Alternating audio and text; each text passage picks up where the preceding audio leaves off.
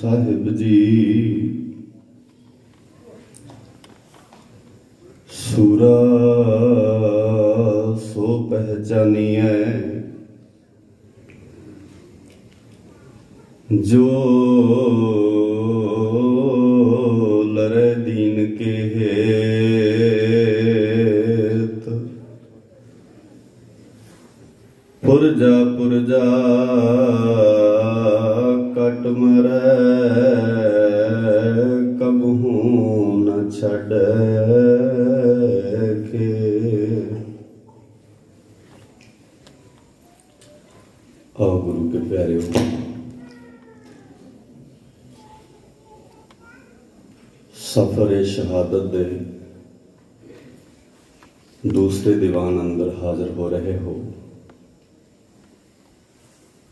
ਕੋਸ਼ਿਸ਼ ਕਰੀਏ,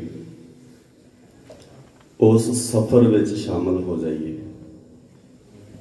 ਉਸ ਸਫ਼ਰ ਦੇ ਪੰਧੀ ਬਣੀਏ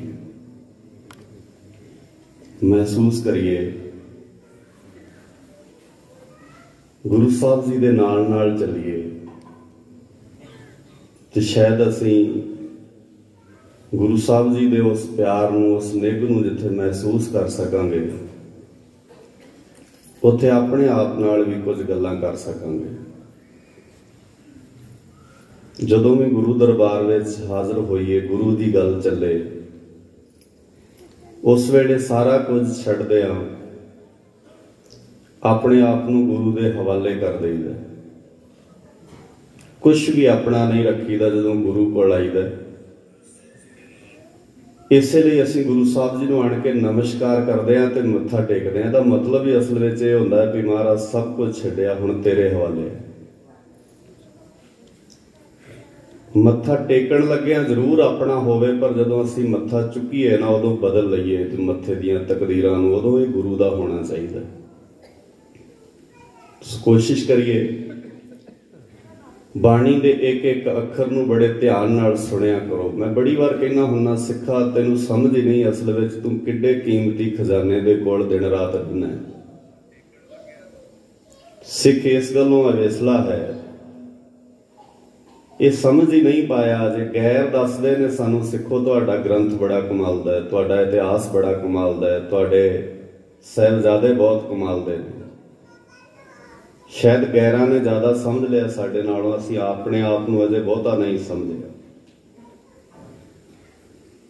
ਸੋ ਆਓ ਕੋਸ਼ਿਸ਼ ਕਰੀਏ, ਸਫ਼ਰ ਵਿੱਚ ਸ਼ਾਮਲ ਹੋਈਏ, ਬਾਣੀ ਦੇ ਬੋਲਾਂ ਨੂੰ ਬੜੇ ਧਿਆਨ ਨਾਲ ਸੁਣੋ। ਮਹਾਰਾਜ ਸੱਚੇ ਪਾਤਸ਼ਾਹ ਜੀ ਕੀ ਕਹਿਣਾ ਚਾਹੁੰਦੇ ਹਨ? ਗੁਰੂ ਸਾਹਿਬ ਜੀ ਬਾਣੀ ਅੰਦਰ ਜਿਹੜੇ ਬੋਲ ਵਰਤਦੇ ਹਨ, ਉਹਨਾਂ ਅੰਦਰ ਸੱਚੇ ਪਾਤਸ਼ਾਹ ਜੀ ਨੇ ਜੋ ਵਡਿਆਈ ਦਿੱਤੀ ਹੈ, ਇਤਿਹਾਸ ਨੇ ਉਹਨੂੰ ਜੀ ਕੇ ਵਿਖਾਇਆ। ਸੂਰਾ ਸੋ ਪਹਿਚਾਨੀਐ, ਸੂਰੇ ਦੀ ਪਰਿਭਾਸ਼ਾ ਕੀ ਹੈ? ਡੈਫੀਨੇਸ਼ਨ ਕੀ ਹੈ?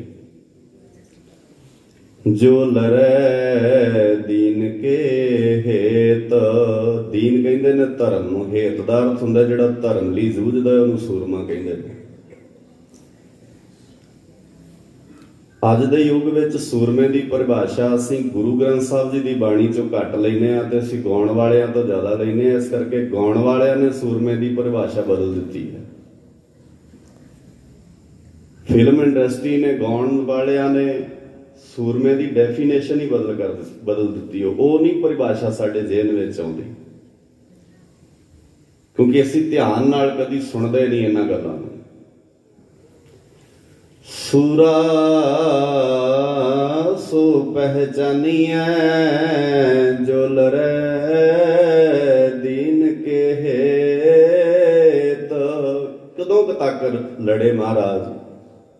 ਤੇ ਬਾਬੇ ਦੇ ਬੋਲ ਕਹਿੰਦੇ, ਪੁਰਜਾ ਪੁਰਜਾ, ਕਟ ਮਰੈ, ਕਬਹੂ ਨ ਛੜੈ ਖੇਤ। ਖੇਤ ਜੋ ਮੰਡਿਓ ਸੂਰਮਾ ਅਬ ਜੂਜਨ ਕੋ ਦਾਓ ਗਗਨ ਦਮਾਮਾ ਬਾਜਿਓ।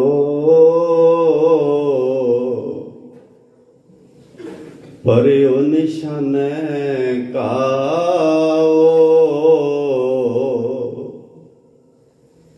ਖੇਤ ਜੋ ਮਾਂਡਿਓ ਸੂਰਮਾ, ਅਬ ਜੋ ਜਨ ਕੋ ਦਾਓ। ਕਿਵੇਂ ਲੜਿਆ ਜਾ ਸਕਦਾ ਹੈ? ਕਿੰਨੀ ਤਾਕਤ ਕਿੱਥੋਂ ਮਿਲੇਗੀ ਇਹ ਮਹਾਰਾਜ? ਇਹ ਤਾਂ ਕਿਵੇਂ ਲੜ ਸਕਦੇ ਹਾਂ ਅਸੀਂ? ਬਹੁਤ ਔਖਾ ਹੈ। ਅਸੀਂ ਤਾਂ ਨਿੱਕੀਆਂ ਨਿੱਕੀਆਂ ਚੀਜ਼ਾਂ ਤੋਂ ਭੈਭੀਤ ਹੋ ਜਾਂਦੇ ਹਾਂ। ਬਹੁਤ ਕਮਜ਼ੋਰ ਦਿਲ ਦੇ ਬੰਦੇ ਹਾਂ ਅਸੀਂ। ਬੜੇ ਨਿੱਕੇ ਦਿਲ ਨੇ ਸਾਡੇ। ਤੁਸੀਂ ਵੱਡੀ ਜ਼ਿੰਮੇਵਾਰੀ ਸਾਡੇ ਤੇ ਪਾਈ ਜਾਂਦੇ ਹੋ। ਅਸੀਂ ਨਹੀਂ ਇੰਨੇ ਲਾਏ ਮਹਾਰਾਜ ਕਹਿੰਦੇ, ਮੇਰੇ ਬੱਚਿਆ ਕੋਲ ਵਿਆਹ ਕਰ ਮੇਰੇ, ਲਾਗੇ ਆਇਆ ਕਰ ਮੇਰੇ, ਨਾਲ ਗੱਲਾਂ ਕਰਿਆ ਕਰ, ਮੈਂ ਹਿੰਮਤ ਵੀ ਤੈਨੂੰ ਦੇ ਦੇਣੀ ਹੈ। ਤੈਨੂੰ ਕੁਝ ਨਹੀਂ ਚਾਹੀਦਾ ਆਪਣੇ ਕੋਲ। ਮੈਂ ਤਾਂ ਸ਼ੁਰੂ ਵਿੱਚ ਕਿਹਾ ਸੀ, ਸਾਨੂੰ ਅਹਿਸਾਸ ਹੀ ਨਹੀਂ ਵੀ ਅਸੀਂ ਕਿਸ ਗੁਰੂ ਦੀ ਗੋਦ ਵਿੱਚ ਬੈਠਦੇ ਹਾਂ। ਜੋ ਤੋ ਪ੍ਰੇਮ ਖੇਲਣ ਕਾ ਚਾਓ, ਸਿਰ ਧਰ ਤਲੀ। ਕਰੋ ਕਿਰਪਾ ਸਾਰੇ, ਸਿਰ ਧਰ ਤਲੀ। ਗੱਜ ਕੇ ਇੱਕ ਵਾਰ, ਸਿਰ ਧਰ ਤਲੀ। ਹਾਂ, ਮੇਰੀ ਗੜੀ ਸਿਰ ਤਲੀ ਤੇ ਰੱਖ ਕੇ ਆਈ। ਇਹਦੇ ਥੱਲੇ ਸੌਦਾ ਮਨਜ਼ੂਰ ਨਹੀਂ ਆਪਣਾ। ਇਤ ਮਾਰਗ ਪੈਰ ਤਰੀ ਜੈ, ਸਿਰ ਤਲੀ ਰੱਖ ਕੇ ਆਈ, ਸਭ ਕੁਝ ਦਾਤੇ ਤੇ ਲਾਈ, ਪਰ ਇਹ ਨਾ ਹੋਵੇ ਕੁਝ ਦਾਤੇ ਤੇ ਲਾ ਕੇ ਨਾਲ ਹੰਕਾਰ ਵੀ ਚੁੱਕ ਲਿਆਈ। ਨਾ, ਇਹ ਨਹੀਂ ਹੋਣ ਦੇਣਾ ਕਦੇ ਵੀ। ਇਤ ਮਾਰਗ ਪੈਰ ਤਰੀ ਜੈ ਸਿਰ ਦੀ ਜੈ ਕਾਣ ਨ ਕੀਜੈ, ਇਤ ਮਾਰਗ ਪੈਰ। ਗੱਜ ਕੇ ਇੱਕ ਵਾਰ ਸਾਰੇ ਉੱਚੀ ਸੁਰ ਵਿੱਚ, ਇਤ ਮਾਰਗ ਪੈਰ। ਸਿਰ ਦੀ ਜੈ ਕਾਣ ਸਿਰ ਦੀ ਜੈ ਕਾਣ ਕੀ ਜੈ ਦਿਨ ਦੁਨੀ ਦੇ ਮਾਲਕ। ਹਲਤ ਪਲਤ ਸਵਾਰ ਦੇਣ ਹਾਰ ਸਹਿਬ ਸੱਚੇ ਪਾਤਸ਼ਾਹ। ਸ੍ਰੀ ਗੁਰੂ ਗ੍ਰੰਥ ਸਾਹਿਬ ਪਾਤਸ਼ਾਹ ਜੀ ਦੇ ਮੁਕੱਦਸ ਚਰਨਾਂ ਅੰਦਰ ਸੁਭਾਇਮਾਨ ਸਫਰ ਸ਼ਹਾਦਤ ਦੇ ਦੂਸਰੇ ਸਮਾਗਮ ਦੀਆਂ ਹਾਜ਼ਰੀਆਂ ਭਰ ਰਹੇ ਗੁਰੂ ਕੇ ਪੈਰ ਵਾਲਿਓ, ਆਓ, ਜਿੱਥੇ ਅਦਬ ਨਾਲ ਬੱਚਿਆਂ ਨੇ ਗੁਰੂ ਬਾਬੇ ਦੀ ਬਾਣੀ ਨੂੰ ਹਰੀ ਜਸ ਕੀਰਤਨ ਰੂਪ ਵਿੱਚ ਸਾਨੂੰ ਸਾਰਿਆਂ ਨੂੰ ਸ਼ਰਵਣ ਕਰਵਾਇਆ ਉੱਥੇ ਮੇਰੀ ਭੈਣ ਨੇ ਇੱਕ ਕਵਿਤਾ ਦੇ ਰੂਪ ਵਿੱਚ ਤੁਹਾਡੇ ਸਾਹਮਣੇ ਉਹ ਦ੍ਰਿਸ਼ ਪੇਸ਼ ਕੀਤਾ ਜਿਹੜਾ ਆਮ ਕਰਕੇ ਸਾਡੇ ਘਰਾਂ ਵਿੱਚ ਜਦੋਂ ਪੁੱਤ ਜਵਾਨ ਹੁੰਦੇ ਨੇ ਤੇ ਮਾਵਾਂ ਦੇ ਮਨਾਂ ਵਿੱਚ ਖਿਆਲਾਤ ਆਉਂਦੇ। ਕਵੀ ਦੇ ਆਪਣੇ ਢੰਗ ਹੁੰਦੇ ਨੇ, ਪੇਸ਼ਕਾਰੀ ਹੁੰਦੀ ਹੈ ਕਵੀ ਦੀ। ਤੇ ਜਦੋਂ ਮਾਂ ਦੀਆਂ ਭਾਵਨਾਵਾਂ ਨੂੰ ਪ੍ਰਗਟ ਕੀਤਾ ਕਵੀ ਨੇ, ਤੇ ਫਿਰ ਗੁਰੂ ਸਾਹਿਬ ਦੀਆਂ ਭਾਵਨਾਵਾਂ ਨੂੰ ਪ੍ਰਗਟ ਕਰਕੇ ਉਹ ਕਹਿੰਦੇ ਵੀ ਕੋਈ ਨਹੀਂ ਬੇਬੇ ਵਾਰ ਲਈ ਪਾਣੀ, ਪਰ ਤੇਰੇ ਪੁੱਤ ਦੀ ਬਰਾਤ ਬਹੁਤੀ ਲੰਮੀ ਚੌੜੀ ਨਹੀਂ ਹੋਣੀ। ਪੰਜ ਕੀ ਜਾਣੇ ਜਾਣੇ ਨੇ ਤੇਰੇ ਪੁੱਤ ਦੀ ਬਰਾਤ ਵਿੱਚ? ਤੇ ਤੇਰੇ ਪੁੱਤ ਦੀ ਬਰਾਤ ਰਾਤ ਦੇ ਹਨੇਰੇ 'ਚ ਜਾਣੀ ਹੈ, ਤੇ ਤਾਂ ਤਲਵਾਰਾਂ ਦੀਆਂ ਛਾਵਾਂ ਥੱਲੇ ਰਹਿਣਾ ਤੇਰੇ ਪੁੱਤਾਂ ਨੇ ਇਹ ਢੰਗ ਹੈ ਕਵੀ ਦਾ ਆਪਣਾ। ਆਪਣੀ ਉਹਦੀ ਪੇਸ਼ਕਾਰੀ ਹੁੰਦੀ ਹੈ। ਕਵੀ ਨੇ ਆਪਣੇ ਢੰਗ ਨਾਲ ਉਹਨੂੰ ਕਹਿਣਾ ਹੁੰਦਾ ਉਹਦੇ ਤੋਂ ਬਾਅਦ ਸਤਕਾਰਯੋਗ ਭੈਣ ਕਵਲਜੀਤ ਕੌਰ ਹੋਣਾ ਨੇ ਤੁਹਾਨੂੰ ਇੱਕ ਗੱਲ ਇਤਿਹਾਸ ਵਿੱਚੋਂ ਔਰ ਮੌਜੂਦਾ ਹਾਲਾਤ ਵਿੱਚੋਂ ਦੱਸੀ ਕਿ ਮਾਂ ਅਸਲ ਵਿੱਚ ਚਾਹਵੇ ਤੇ ਪੁੱਤ ਨੂੰ ਜਿਸ ਰਾਹ ਤੇ ਮਰਜ਼ੀ ਪਾ ਸਕਦੀ ਹੈ। ਐਵੇਂ ਨਹੀਂ ਬਾਬੇ ਨੇ ਬਾਣੀ 'ਚ ਲਿਖਿਆ ਵੀ ਰੱਬ ਤੇ ਮਾਂ 'ਚ ਬਹੁਤਾ ਫ਼ਰਕ ਨਹੀਂ ਹੈ ਕੋਈ। ਜੇ ਗੁਰੂ ਸਾਹਿਬ ਕਹਿੰਦੇ ਨੇ ਨਾ, ਰੱਬ ਮਾਂ, ਇੱਕੋ ਹੀ ਚੀਜ਼ ਨੇ, ਇਹਦਾ ਮਤਲਬ ਹੈ ਕੋਈ ਨੇੜਿਓਂ ਤੱਕਿਆ ਮਹਾਰਾਜ। ਤੇ ਤੁਸੀਂ ਵੇਖੋ, ਇੱਕ 7 ਸਾਲ ਦਾ 6 ਸਾਲ ਦਾ ਬੱਚਾ ਪੰਜਾਬ ਚੋਂ ਲੈ ਕੇ, ਉਹਨੂੰ ਮਾਂ ਨਹੀਂ ਵਿਖਾਈ, ਉਹਨੂੰ ਪਿਤਾ ਨਹੀਂ ਵਿਖਾਇਆ, ਉਹਨੂੰ ਪੰਜਾਬ ਦਾ ਨਾਂ ਨਹੀਂ ਲਿਆ ਉਹਦੇ ਲਾਗੇ। ਪਰ ਜਦੋਂ ਮਾਂ ਮੇਰੀ ਜਦੋਂ ਕਿਤੇ ਮਾਂ ਨਾਲ ਮੇਲ ਹੋਇਆ ਤੇ ਕਿੰਨੇ ਕੁ ਬੋਲਾਂ 'ਚ ਜਾਨ ਹੋਣੀ ਹੈ? 6 ਸਾਲ ਦਾ ਬੱਚਾ ਵਿਛੜਿਆ 19 ਸਾਲਾਂ ਦਾ 20 ਸਾਲਾਂ ਦਾ ਹੋ ਕੇ ਦੁਬਾਰਾ ਮਿਲਿਆ। ਇੰਗਲੈਂਡ ਪੜਿਆ, ਬਾਹਰਲੇ ਮੁਲਕ 'ਚ ਪੜਿਆ, ਸਾਰਾ ਢੰਗ ਤਰੀਕਾ ਹੀ ਬਦਲਦਾ। ਪਰ ਮਾਂ ਦੇ ਬੋਲਾਂ ਨੇ ਧੂ ਲਿਆਂਦਾ ਗੁਰੂ ਦੀ ਗੋਦ ਵਿੱਚ ਫਿਰ। ਇਸ ਕਰਕੇ ਮਾਂ ਬਹੁਤ ਮਹਾਨ ਚੀਜ਼ ਹੈ। ਜਿਵੇਂ ਸਾਨੂੰ ਗੁਰੂ ਦਾ ਨਹੀਂ ਪਤਾ ਇਦਾਂ ਹੀ ਸਾਨੂੰ ਅੱਜ ਮਾਂ ਦਾ ਵੀ ਨਹੀਂ ਪਤਾ ਤੇ ਮਾਂ ਨੂੰ ਵੀ ਸ਼ਾਇਦ ਅੱਜ ਔਲਾਦ ਦਾ ਨਹੀਂ ਪਤਾ। ਮਾਵਾਂ ਵੀ ਅੱਜ ਯੁੱਗ ਦੇ ਹਿਸਾਬ ਨਾਲ ਬਦਲ ਗਈਆਂ ਨੇ। ਮਾਫ ਕਰਿਓ ਮੈਨੂੰ, ਅੱਜ ਅਸੀਂ ਪੁੱਤ ਤੇ ਮਾਂ ਸਾਰਾ ਕੁਝ ਹੀ ਬਦਲ ਦਿੱਤਾ ਗੁਰੂ ਮਿਹਰ ਕਰੇ ਇਤਿਹਾਸ ਦੀ ਲੜੀ ਨਾਲ ਜੁੜੀਏ। ਇੱਕ ਵਾਰ ਵਿਚਾਰ ਆਰੰਭਣ ਤੋਂ ਪਹਿਲਾਂ ਗੁਰੂ ਬਖਸ਼ਿਸ਼ ਦੁਹਰਾਈਏ। ਗੱਜ ਕੇ ਆਖੋ, ਵਾਹਿਗੁਰੂ ਜੀ ਕਾ ਖਾਲਸਾ। ਵਾਹਿਗੁਰੂ ਜੀ ਕੀ ਫਤਿਹ। ਅੱਜ ਦੀ ਜਿਹੜੀ ਰਾਤ ਹੈ ਇਸ ਰਾਤ ਨੂੰ ਮਹਾਰਾਜ ਸੱਚੇ ਪਾਤਸ਼ਾਹ ਜੀ ਨੇ ਚਮਕੌਰ ਦੀ ਗੜੀ ਤੋਂ ਬਾਹਰ ਨਿਕਲਣਾ ਇਤਿਹਾਸ ਵਿੱਚ ਅੱਜ ਦਾ ਜਿਹੜਾ ਦਿਨ ਹੈ ਕੱਲ ਦੀ ਰਾਤ ਜਿਹੜਾ ਇਤਿਹਾਸ ਤੁਸੀਂ ਸ਼ਰਵਣ ਕੀਤਾ ਉਸ ਇਤਿਹਾਸ ਵਿੱਚ ਤੁਸੀਂ ਵੇਖਿਆ ਕਿ ਮਹਾਰਾਜ ਸੱਚੇ ਪਾਤਸ਼ਾਹ ਜੀ ਆਪਣੇ ਦੋ ਬੱਚਿਆਂ ਦੇ ਨਾਲ, ਕੁਝ ਚੋਣਵੇਂ ਸਿੱਖਾਂ ਦੇ ਨਾਲ ਚਮਕੌਰ ਦੀ ਗੜੀ ਵਿੱਚ, ਜਿਹਨੂੰ ਬੁੱਧੀ ਚੰਦ ਰਾਵਤ ਦੀ ਕੱਚੀ ਹਵੇਲੀ ਕਹਿੰਦੇ ਸਨ। ਠੀਕ ਹੈ, ਇਤਿਹਾਸ ਨੇ ਹੌਲੀ ਹੌਲੀ ਇਹਦਾ ਨਾਮ ਗੜੀ ਪ੍ਰਚਲਿਤ ਕਰ ਦਿੱਤਾ ਔਰ ਇੱਕ ਗਰੀਬੜੇ ਦੇ ਸਿੱਖ ਦੀ ਹਵੇਲੀ ਸੀ ਬੁੱਧੀ ਚੰਦ ਰਾਵਤ ਦੀ ਕੱਚੀ ਦੀ ਹਵੇਲੀ। ਮਹਾਰਾਜ ਕੱਲ ਜਿਹੜਾ ਦਿਨ ਹੈ ਕੱਲ ਦਾ ਜਿਹੜੀ ਰਾਤ ਸੀ ਉਸ ਬੁੱਧੀ ਚੰਦ ਰਾਵਤ ਦੀ ਹਵੇਲੀ ਵਿੱਚ ਮਹਾਰਾਜ ਨੇ ਕੱਟੀ ਹੈ। ਦੁਨੀਆ ਦੇ ਅੰਦਰ ਇਤਿਹਾਸ ਦੇ ਆਪਣੇ ਆਪਣੇ ਪੱਖ ਨੇ। ਕਲਗੀਆਂ ਵਾਲੇ ਪਾਤਸ਼ਾਹ ਬਾਰੇ ਜਦੋਂ ਕਿਸੇ ਨੇ ਲਿਖਿਆ ਹੈ ਤੇ ਜਿੰਨਾ ਸਵਾਦਲਾ ਤੇ ਜਿੰਨਾ ਨੇੜੇ ਵਾਲਾ ਯਾਰਖਾਂ ਜੋਗੀ ਨੇ ਲਿਖਿਆ ਨਾ, ਮੈਨੂੰ ਨਹੀਂ ਲੱਗਦਾ ਵੀ ਇੰਨਾ ਲਾਗੇ ਹੋ ਕੇ ਕਿਸੇ ਹੋਰ ਨੇ ਵੇਖੇ ਮੈਨੂੰ ਇੰਜ ਫੀਲ ਹੁੰਦਾ ਹੈ ਵੀ ਸ਼ਾਇਦ ਸਿੱਖ ਨੇ ਵੀ ਅਜੇ ਉਹਨਾਂ ਲਾਗੇ ਹੋ ਕੇ ਨਹੀਂ ਵੇਖਿਆ। ਜਿੰਨਾ ਕਲਗੀਆਂ ਵਾਲੇ ਨੂੰ ਅੱਲਾ ਯਾਰਖਾਂ ਜੋਗੀ ਨੇ ਲਾਗੇ ਹੋ ਕੇ ਵੇਖਿਆ। ਜਦੋਂ ਅੱਲਾ ਯਾਰ ਖਾਂ ਜੋ ਕਿਉਂਕਿ ਕਲਮਾਂ ਹੁੰਦੀਆਂ ਨੇ ਨਾ ਜਿਹੜੀਆਂ ਹਮੇਸ਼ਾ ਕਲਮ ਸਪੀਕਰ, ਕਲਮ ਚਲਾਉਣ ਵਾਲੇ, ਕਲਮਾਂ ਨੂੰ ਲਿਖਣ ਵਾਲਿਆਂ ਦੀ ਕੀਮਤ ਪੈ ਜਾਂਦੀ ਹੈ ਸਮਾਜ ਅੰਦਰ, ਇਹਨਾਂ ਦਾ ਮੁੱਲ ਪੈ ਜਾਂਦਾ ਜੇ ਕਲਗੀਆਂ ਵਾਲੇ ਦਾ ਪਰਿਵਾਰ ਨਹੀਂ ਨਾ ਵਿਕਿਆ ਤੇ ਇੱਕ ਕਲਮ ਵੀ ਉਸ ਵੇਲੇ, ਉਸ ਯੋਧੇ ਦੀ ਜਿਹੜੀ ਵਿਕੀ ਨਹੀਂ, ਜਿਹੜੀ ਗੁਲਾਮ ਨਹੀਂ ਹੋਈ। ਜਿਹੜੇ ਬੰਦਿਆਂ ਨੇ ਸਹਿਬਜ਼ਾਦਿਆਂ ਨੂੰ ਨੀਹਾਂ 'ਚ ਚਿਣਿਆ, ਉਹਨਾਂ ਵਾਸਤੇ ਕਿਸੇ ਬੰਦੇ ਦੀ ਕਲਮ ਖਰੀਦਣਾ ਕਿੰਨੀ ਕੁ ਵੱਡੀ ਗੱਲ ਹੁੰਦੀ ਹੈ। ਤੇ ਜਦੋਂ ਅੱਲਾ ਯਾਰ ਖਾਂ ਜੋਗੀ ਨੂੰ ਕਹਿੰਦੇ ਨਾ, ਕੀਮਤ ਦੱਸ ਤੇਰੀ, ਕਲਮ ਦੀ ਕੀ ਹੈ? ਇਹ ਅੱਲਾ ਯਾਰ ਖਾਂ ਜੋਗੀ ਕਹਿੰਦਾ, ਜੇ ਔਕਾਤ ਹੁੰਦੀ ਤੁਹਾਡੀ ਤੇ ਫਤਿਹ ਸਿੰਘ ਦੀ ਕੀਮਤ ਨਾ ਪਾ ਲੈਂਦੇ ਤੁਸੀਂ। ਜਿਨ੍ਹਾਂ ਤੋਂ ਫਤਿਹ ਸਿੰਘ ਦੀ ਕੀਮਤ ਨਹੀਂ ਪਈ, ਤੁਹਾਨੂੰ ਲੱਗਦਾ ਤੁਸੀਂ ਮੇਰੀ ਕੀਮਤ ਪਾ ਲਓਗੇ? ਹੋਣਗੀਆਂ ਕਲਮਾਂ ਵਿਕਣ ਵਾਲੀਆਂ, ਪਰ ਇਹ ਕਲਮ ਵਿਕਣ ਵਾਲੀ ਨਹੀਂ। ਔਰ ਇਹ ਗੱਲ ਮੈਂ ਕਾਗਜ਼ ਦੀ ਹਿੱਕ ਤੇ ਉਕਰ ਜਾਣੇ ਨੇ। ਔਰ ਉਹ ਲਿਖਦਾ ਹੈ, ਉਹ ਕਹਿੰਦਾ, ਇਨਸਾਫ ਕਰੇ ਜ਼ਮਾਨਾ ਤੋਂ ਯਕੀ ਹੈ। ਜੇ ਜ਼ਮਾਨੇ ਦੇ ਲੋਕ ਇਨਸਾਫ ਕਰਨੇ ਗੱਲ ਵੱਖਰੀ ਹੈ, ਲੋਕ ਇਨਸਾਫ ਨਹੀਂ ਕਰਦੇ। ਉਹ ਕਹਿੰਦਾ, ਇਨਸਾਫ ਕਰੇ ਜ਼ਮਾਨਾ ਤੋਂ ਯਕੀ ਹੈ। ਕਹਿ ਦੋ ਗੁਰੂ ਗੋਬਿੰਦ ਸਿੰਘ ਕਾ ਤੋਂ ਸਾਨੀ ਹੀ ਨਹੀਂ ਹੈ। ਉੱਚੀ ਆਵਾਜ਼ ਵਿੱਚ ਕਹਿਣਾ ਪਏਗਾ ਜਦੋਂ ਲੋਕ ਇਨਸਾਫ ਕਰਨ ਬੈਠਣਗੇ ਵੀ ਜੇ ਇਨਸਾਫ ਦੀ ਗੱਲ ਹੈ ਤੇ ਗੁਰੂ ਕਲਗੀਧਰ ਪਾਤਸ਼ਾਹ ਜੀ ਵਰਗਾ ਦੁਨੀਆ ਤੇ ਕੋਈ ਨਹੀਂ। ਦੋ ਬੰਦਿਆਂ ਦੀ ਕਸਮ ਉਹਨੇ ਖਾਦੀ ਕਹਿੰਦਾ ਕਰਤਾਰ ਕੀ ਸੌਗੰਧ ਗੁਰੂ ਨਾਨਕ ਕੀ ਕਸਮ ਹੈ, ਜਿਤਨੀ ਵੀ ਹੋ ਤਾਰੀਫ ਗੋਬਿੰਦ ਕੀ ਉਹ ਕਮ ਹੈ। ਉਹਨੂੰ ਕਹਿੰਦੇ ਬਾਕੀਆਂ ਦੀ ਵੀ ਤਾਰੀਫ ਕਰ ਲਿਆ ਕਰ। ਤੂੰ ਕੱਲੇ ਕਲਗੀਆਂ ਵਾਲੇ ਦੀ ਕਿਉਂ ਕਰਦਾ? ਉਹ ਕਹਿੰਦਾ ਮੁਕਾਬਲੇ 'ਚ ਦੱਸ ਦੋ ਕੋਈ ਹੈਗਾ ਕਲਗੀਆਂ ਵਾਲੇ ਦੇ। ਲਿਖ ਦਾਂਗਾ ਦੋ ਸ਼ਬਦ, ਮੈਨੂੰ ਕੀ ਫ਼ਰਕ ਪੈਂਦਾ? ਮੈਂ ਤਾਂ ਲਿਖਣਾ ਹੀ ਹੈ ਨਾ। ਪਰ ਮੇਰਾ ਦਿਲ ਕਹਿੰਦਾ ਔਰ ਇਰਾਦਾ ਤੁਹਾਡਾ ਵੀ ਹੈ। ਮੰਨਦੇ ਤੁਸੀਂ ਵੀ ਇਹ ਗੱਲ ਹੋ ਵੀ ਕਲਗੀਆਂ ਵਾਲੇ ਦਾ ਕੋਈ ਸਾਨੀ ਨਹੀਂ ਹੈ ਤੇ ਨਹੀਂ ਤੇ ਤੁਹਾਨੂੰ ਤਖਤਾ ਤਾਜਾਂ ਤੇ ਬੈਠਿਆਂ ਨੂੰ ਇੱਕ ਆਮ ਜੇ ਮਹਿਲ ਵਿੱਚ ਰਹਿਣ ਵਾਲਿਆਂ ਨੂੰ ਕੁੱਲੀ ਵਿੱਚ ਬੈਠੇ ਆਨੰਦਪੁਰ ਵਾਲੇ ਦੀ ਤਕਲੀਫ ਕੀ ਹੈ? ਦੁੱਖ ਕੀ ਹੈ ਤੁਹਾਨੂੰ ਉਸ ਕਲਗੀ ਵਾਲੇ ਦਾ? ਤੁਸੀਂ ਤੇ ਮਹਿਲਾ ਤੇ ਰਹਿੰਦੇ ਹੋ। ਕਿਹੜੀ ਚੀਜ਼ ਦੀ ਘਾਟ ਹੈ ਤੁਹਾਡੇ ਕੋਲ?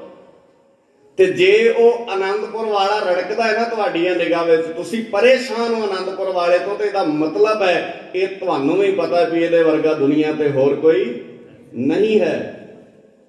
ਤੇ ਜਿੱਦਣ ਲੋਕਾਂ ਨੂੰ ਇਸ ਬਾਰੇ ਪਤਾ ਲੱਗਣਾ ਹੈ, ਜਿੱਦਣ ਹਕੀਕਤ ਦਾ ਸਾਹਮਣਾ ਹੋਣਾ ਹੈ, ਕਲਗੀਆਂ ਵਾਲੇ ਨਾਲ ਲੋਕਾਂ ਨੇ ਜੁੜਨਾ ਹੈ ਉਦੋਂ ਤੁਹਾਡੀ ਕਿਨੇ ਸੁਣਨੀ ਹੈ? ਇਸ ਕਰਕੇ ਤੁਸੀਂ ਚਾਹੁੰਦੇ ਹੋ ਕਲਗੀਆਂ ਵਾਲਾ ਵੀ ਮਿਟ ਜਾਏ ਤੇ ਕਲਗੀਆਂ ਵਾਲੇ ਦੀ ਵਿਚਾਰਧਾਰਾ ਵੀ ਮਿਟ ਜਾਏ। ਪਰ ਉਹ ਅੱਲਾ ਯਾਰ ਖਾਂ ਜੋ ਕਹਿੰਦਾ, ਇੱਕ ਵਕਤ ਆਊਗਾ, ਲੋਕਾਂ ਨੇ ਤੁਹਾਨੂੰ ਭੁੱਲ ਜਾਣਾ ਤੇ ਜੇ ਯਾਦ ਵੀ ਕਰਨਗੇ ਤੇ ਤੁਹਾਨੂੰ ਲਾਂਤਾਂ ਪਾਉਣਗੇ। ਉਹ ਆਪਣੀ ਕਲਮ ਨਾਲ ਲਿਖਦਾ ਉਹ ਕਹਿੰਦਾ, ਕਰਤਾਰ ਕੀ ਸੌਗੰਧ ਗੁਰੂ ਨਾਨਕ ਕੀ ਕਸਮ ਹੈ, ਜਿਤਨੀ ਵੀ ਹੋ ਤਾਰੀਫ ਗੋਬਿੰਦ ਕੀ ਉਹ ਕਮ ਹੈ। ਔਰ ਇੱਕ ਉਹਨੇ ਸਿਖਰ ਦੀ ਗੱਲ ਕੀਤੀ। ਉਹ ਕਹਿੰਦਾ, ਮੈਨੂੰ ਇੰਜ ਲੱਗਦਾ ਤੇ ਮੰਨਣਾ ਆਉਣ ਵਾਲੇ ਸਮੇਂ 'ਚ ਸਾਰਿਆਂ ਨੇ ਇਦਾਂ ਹੀ ਹੈ।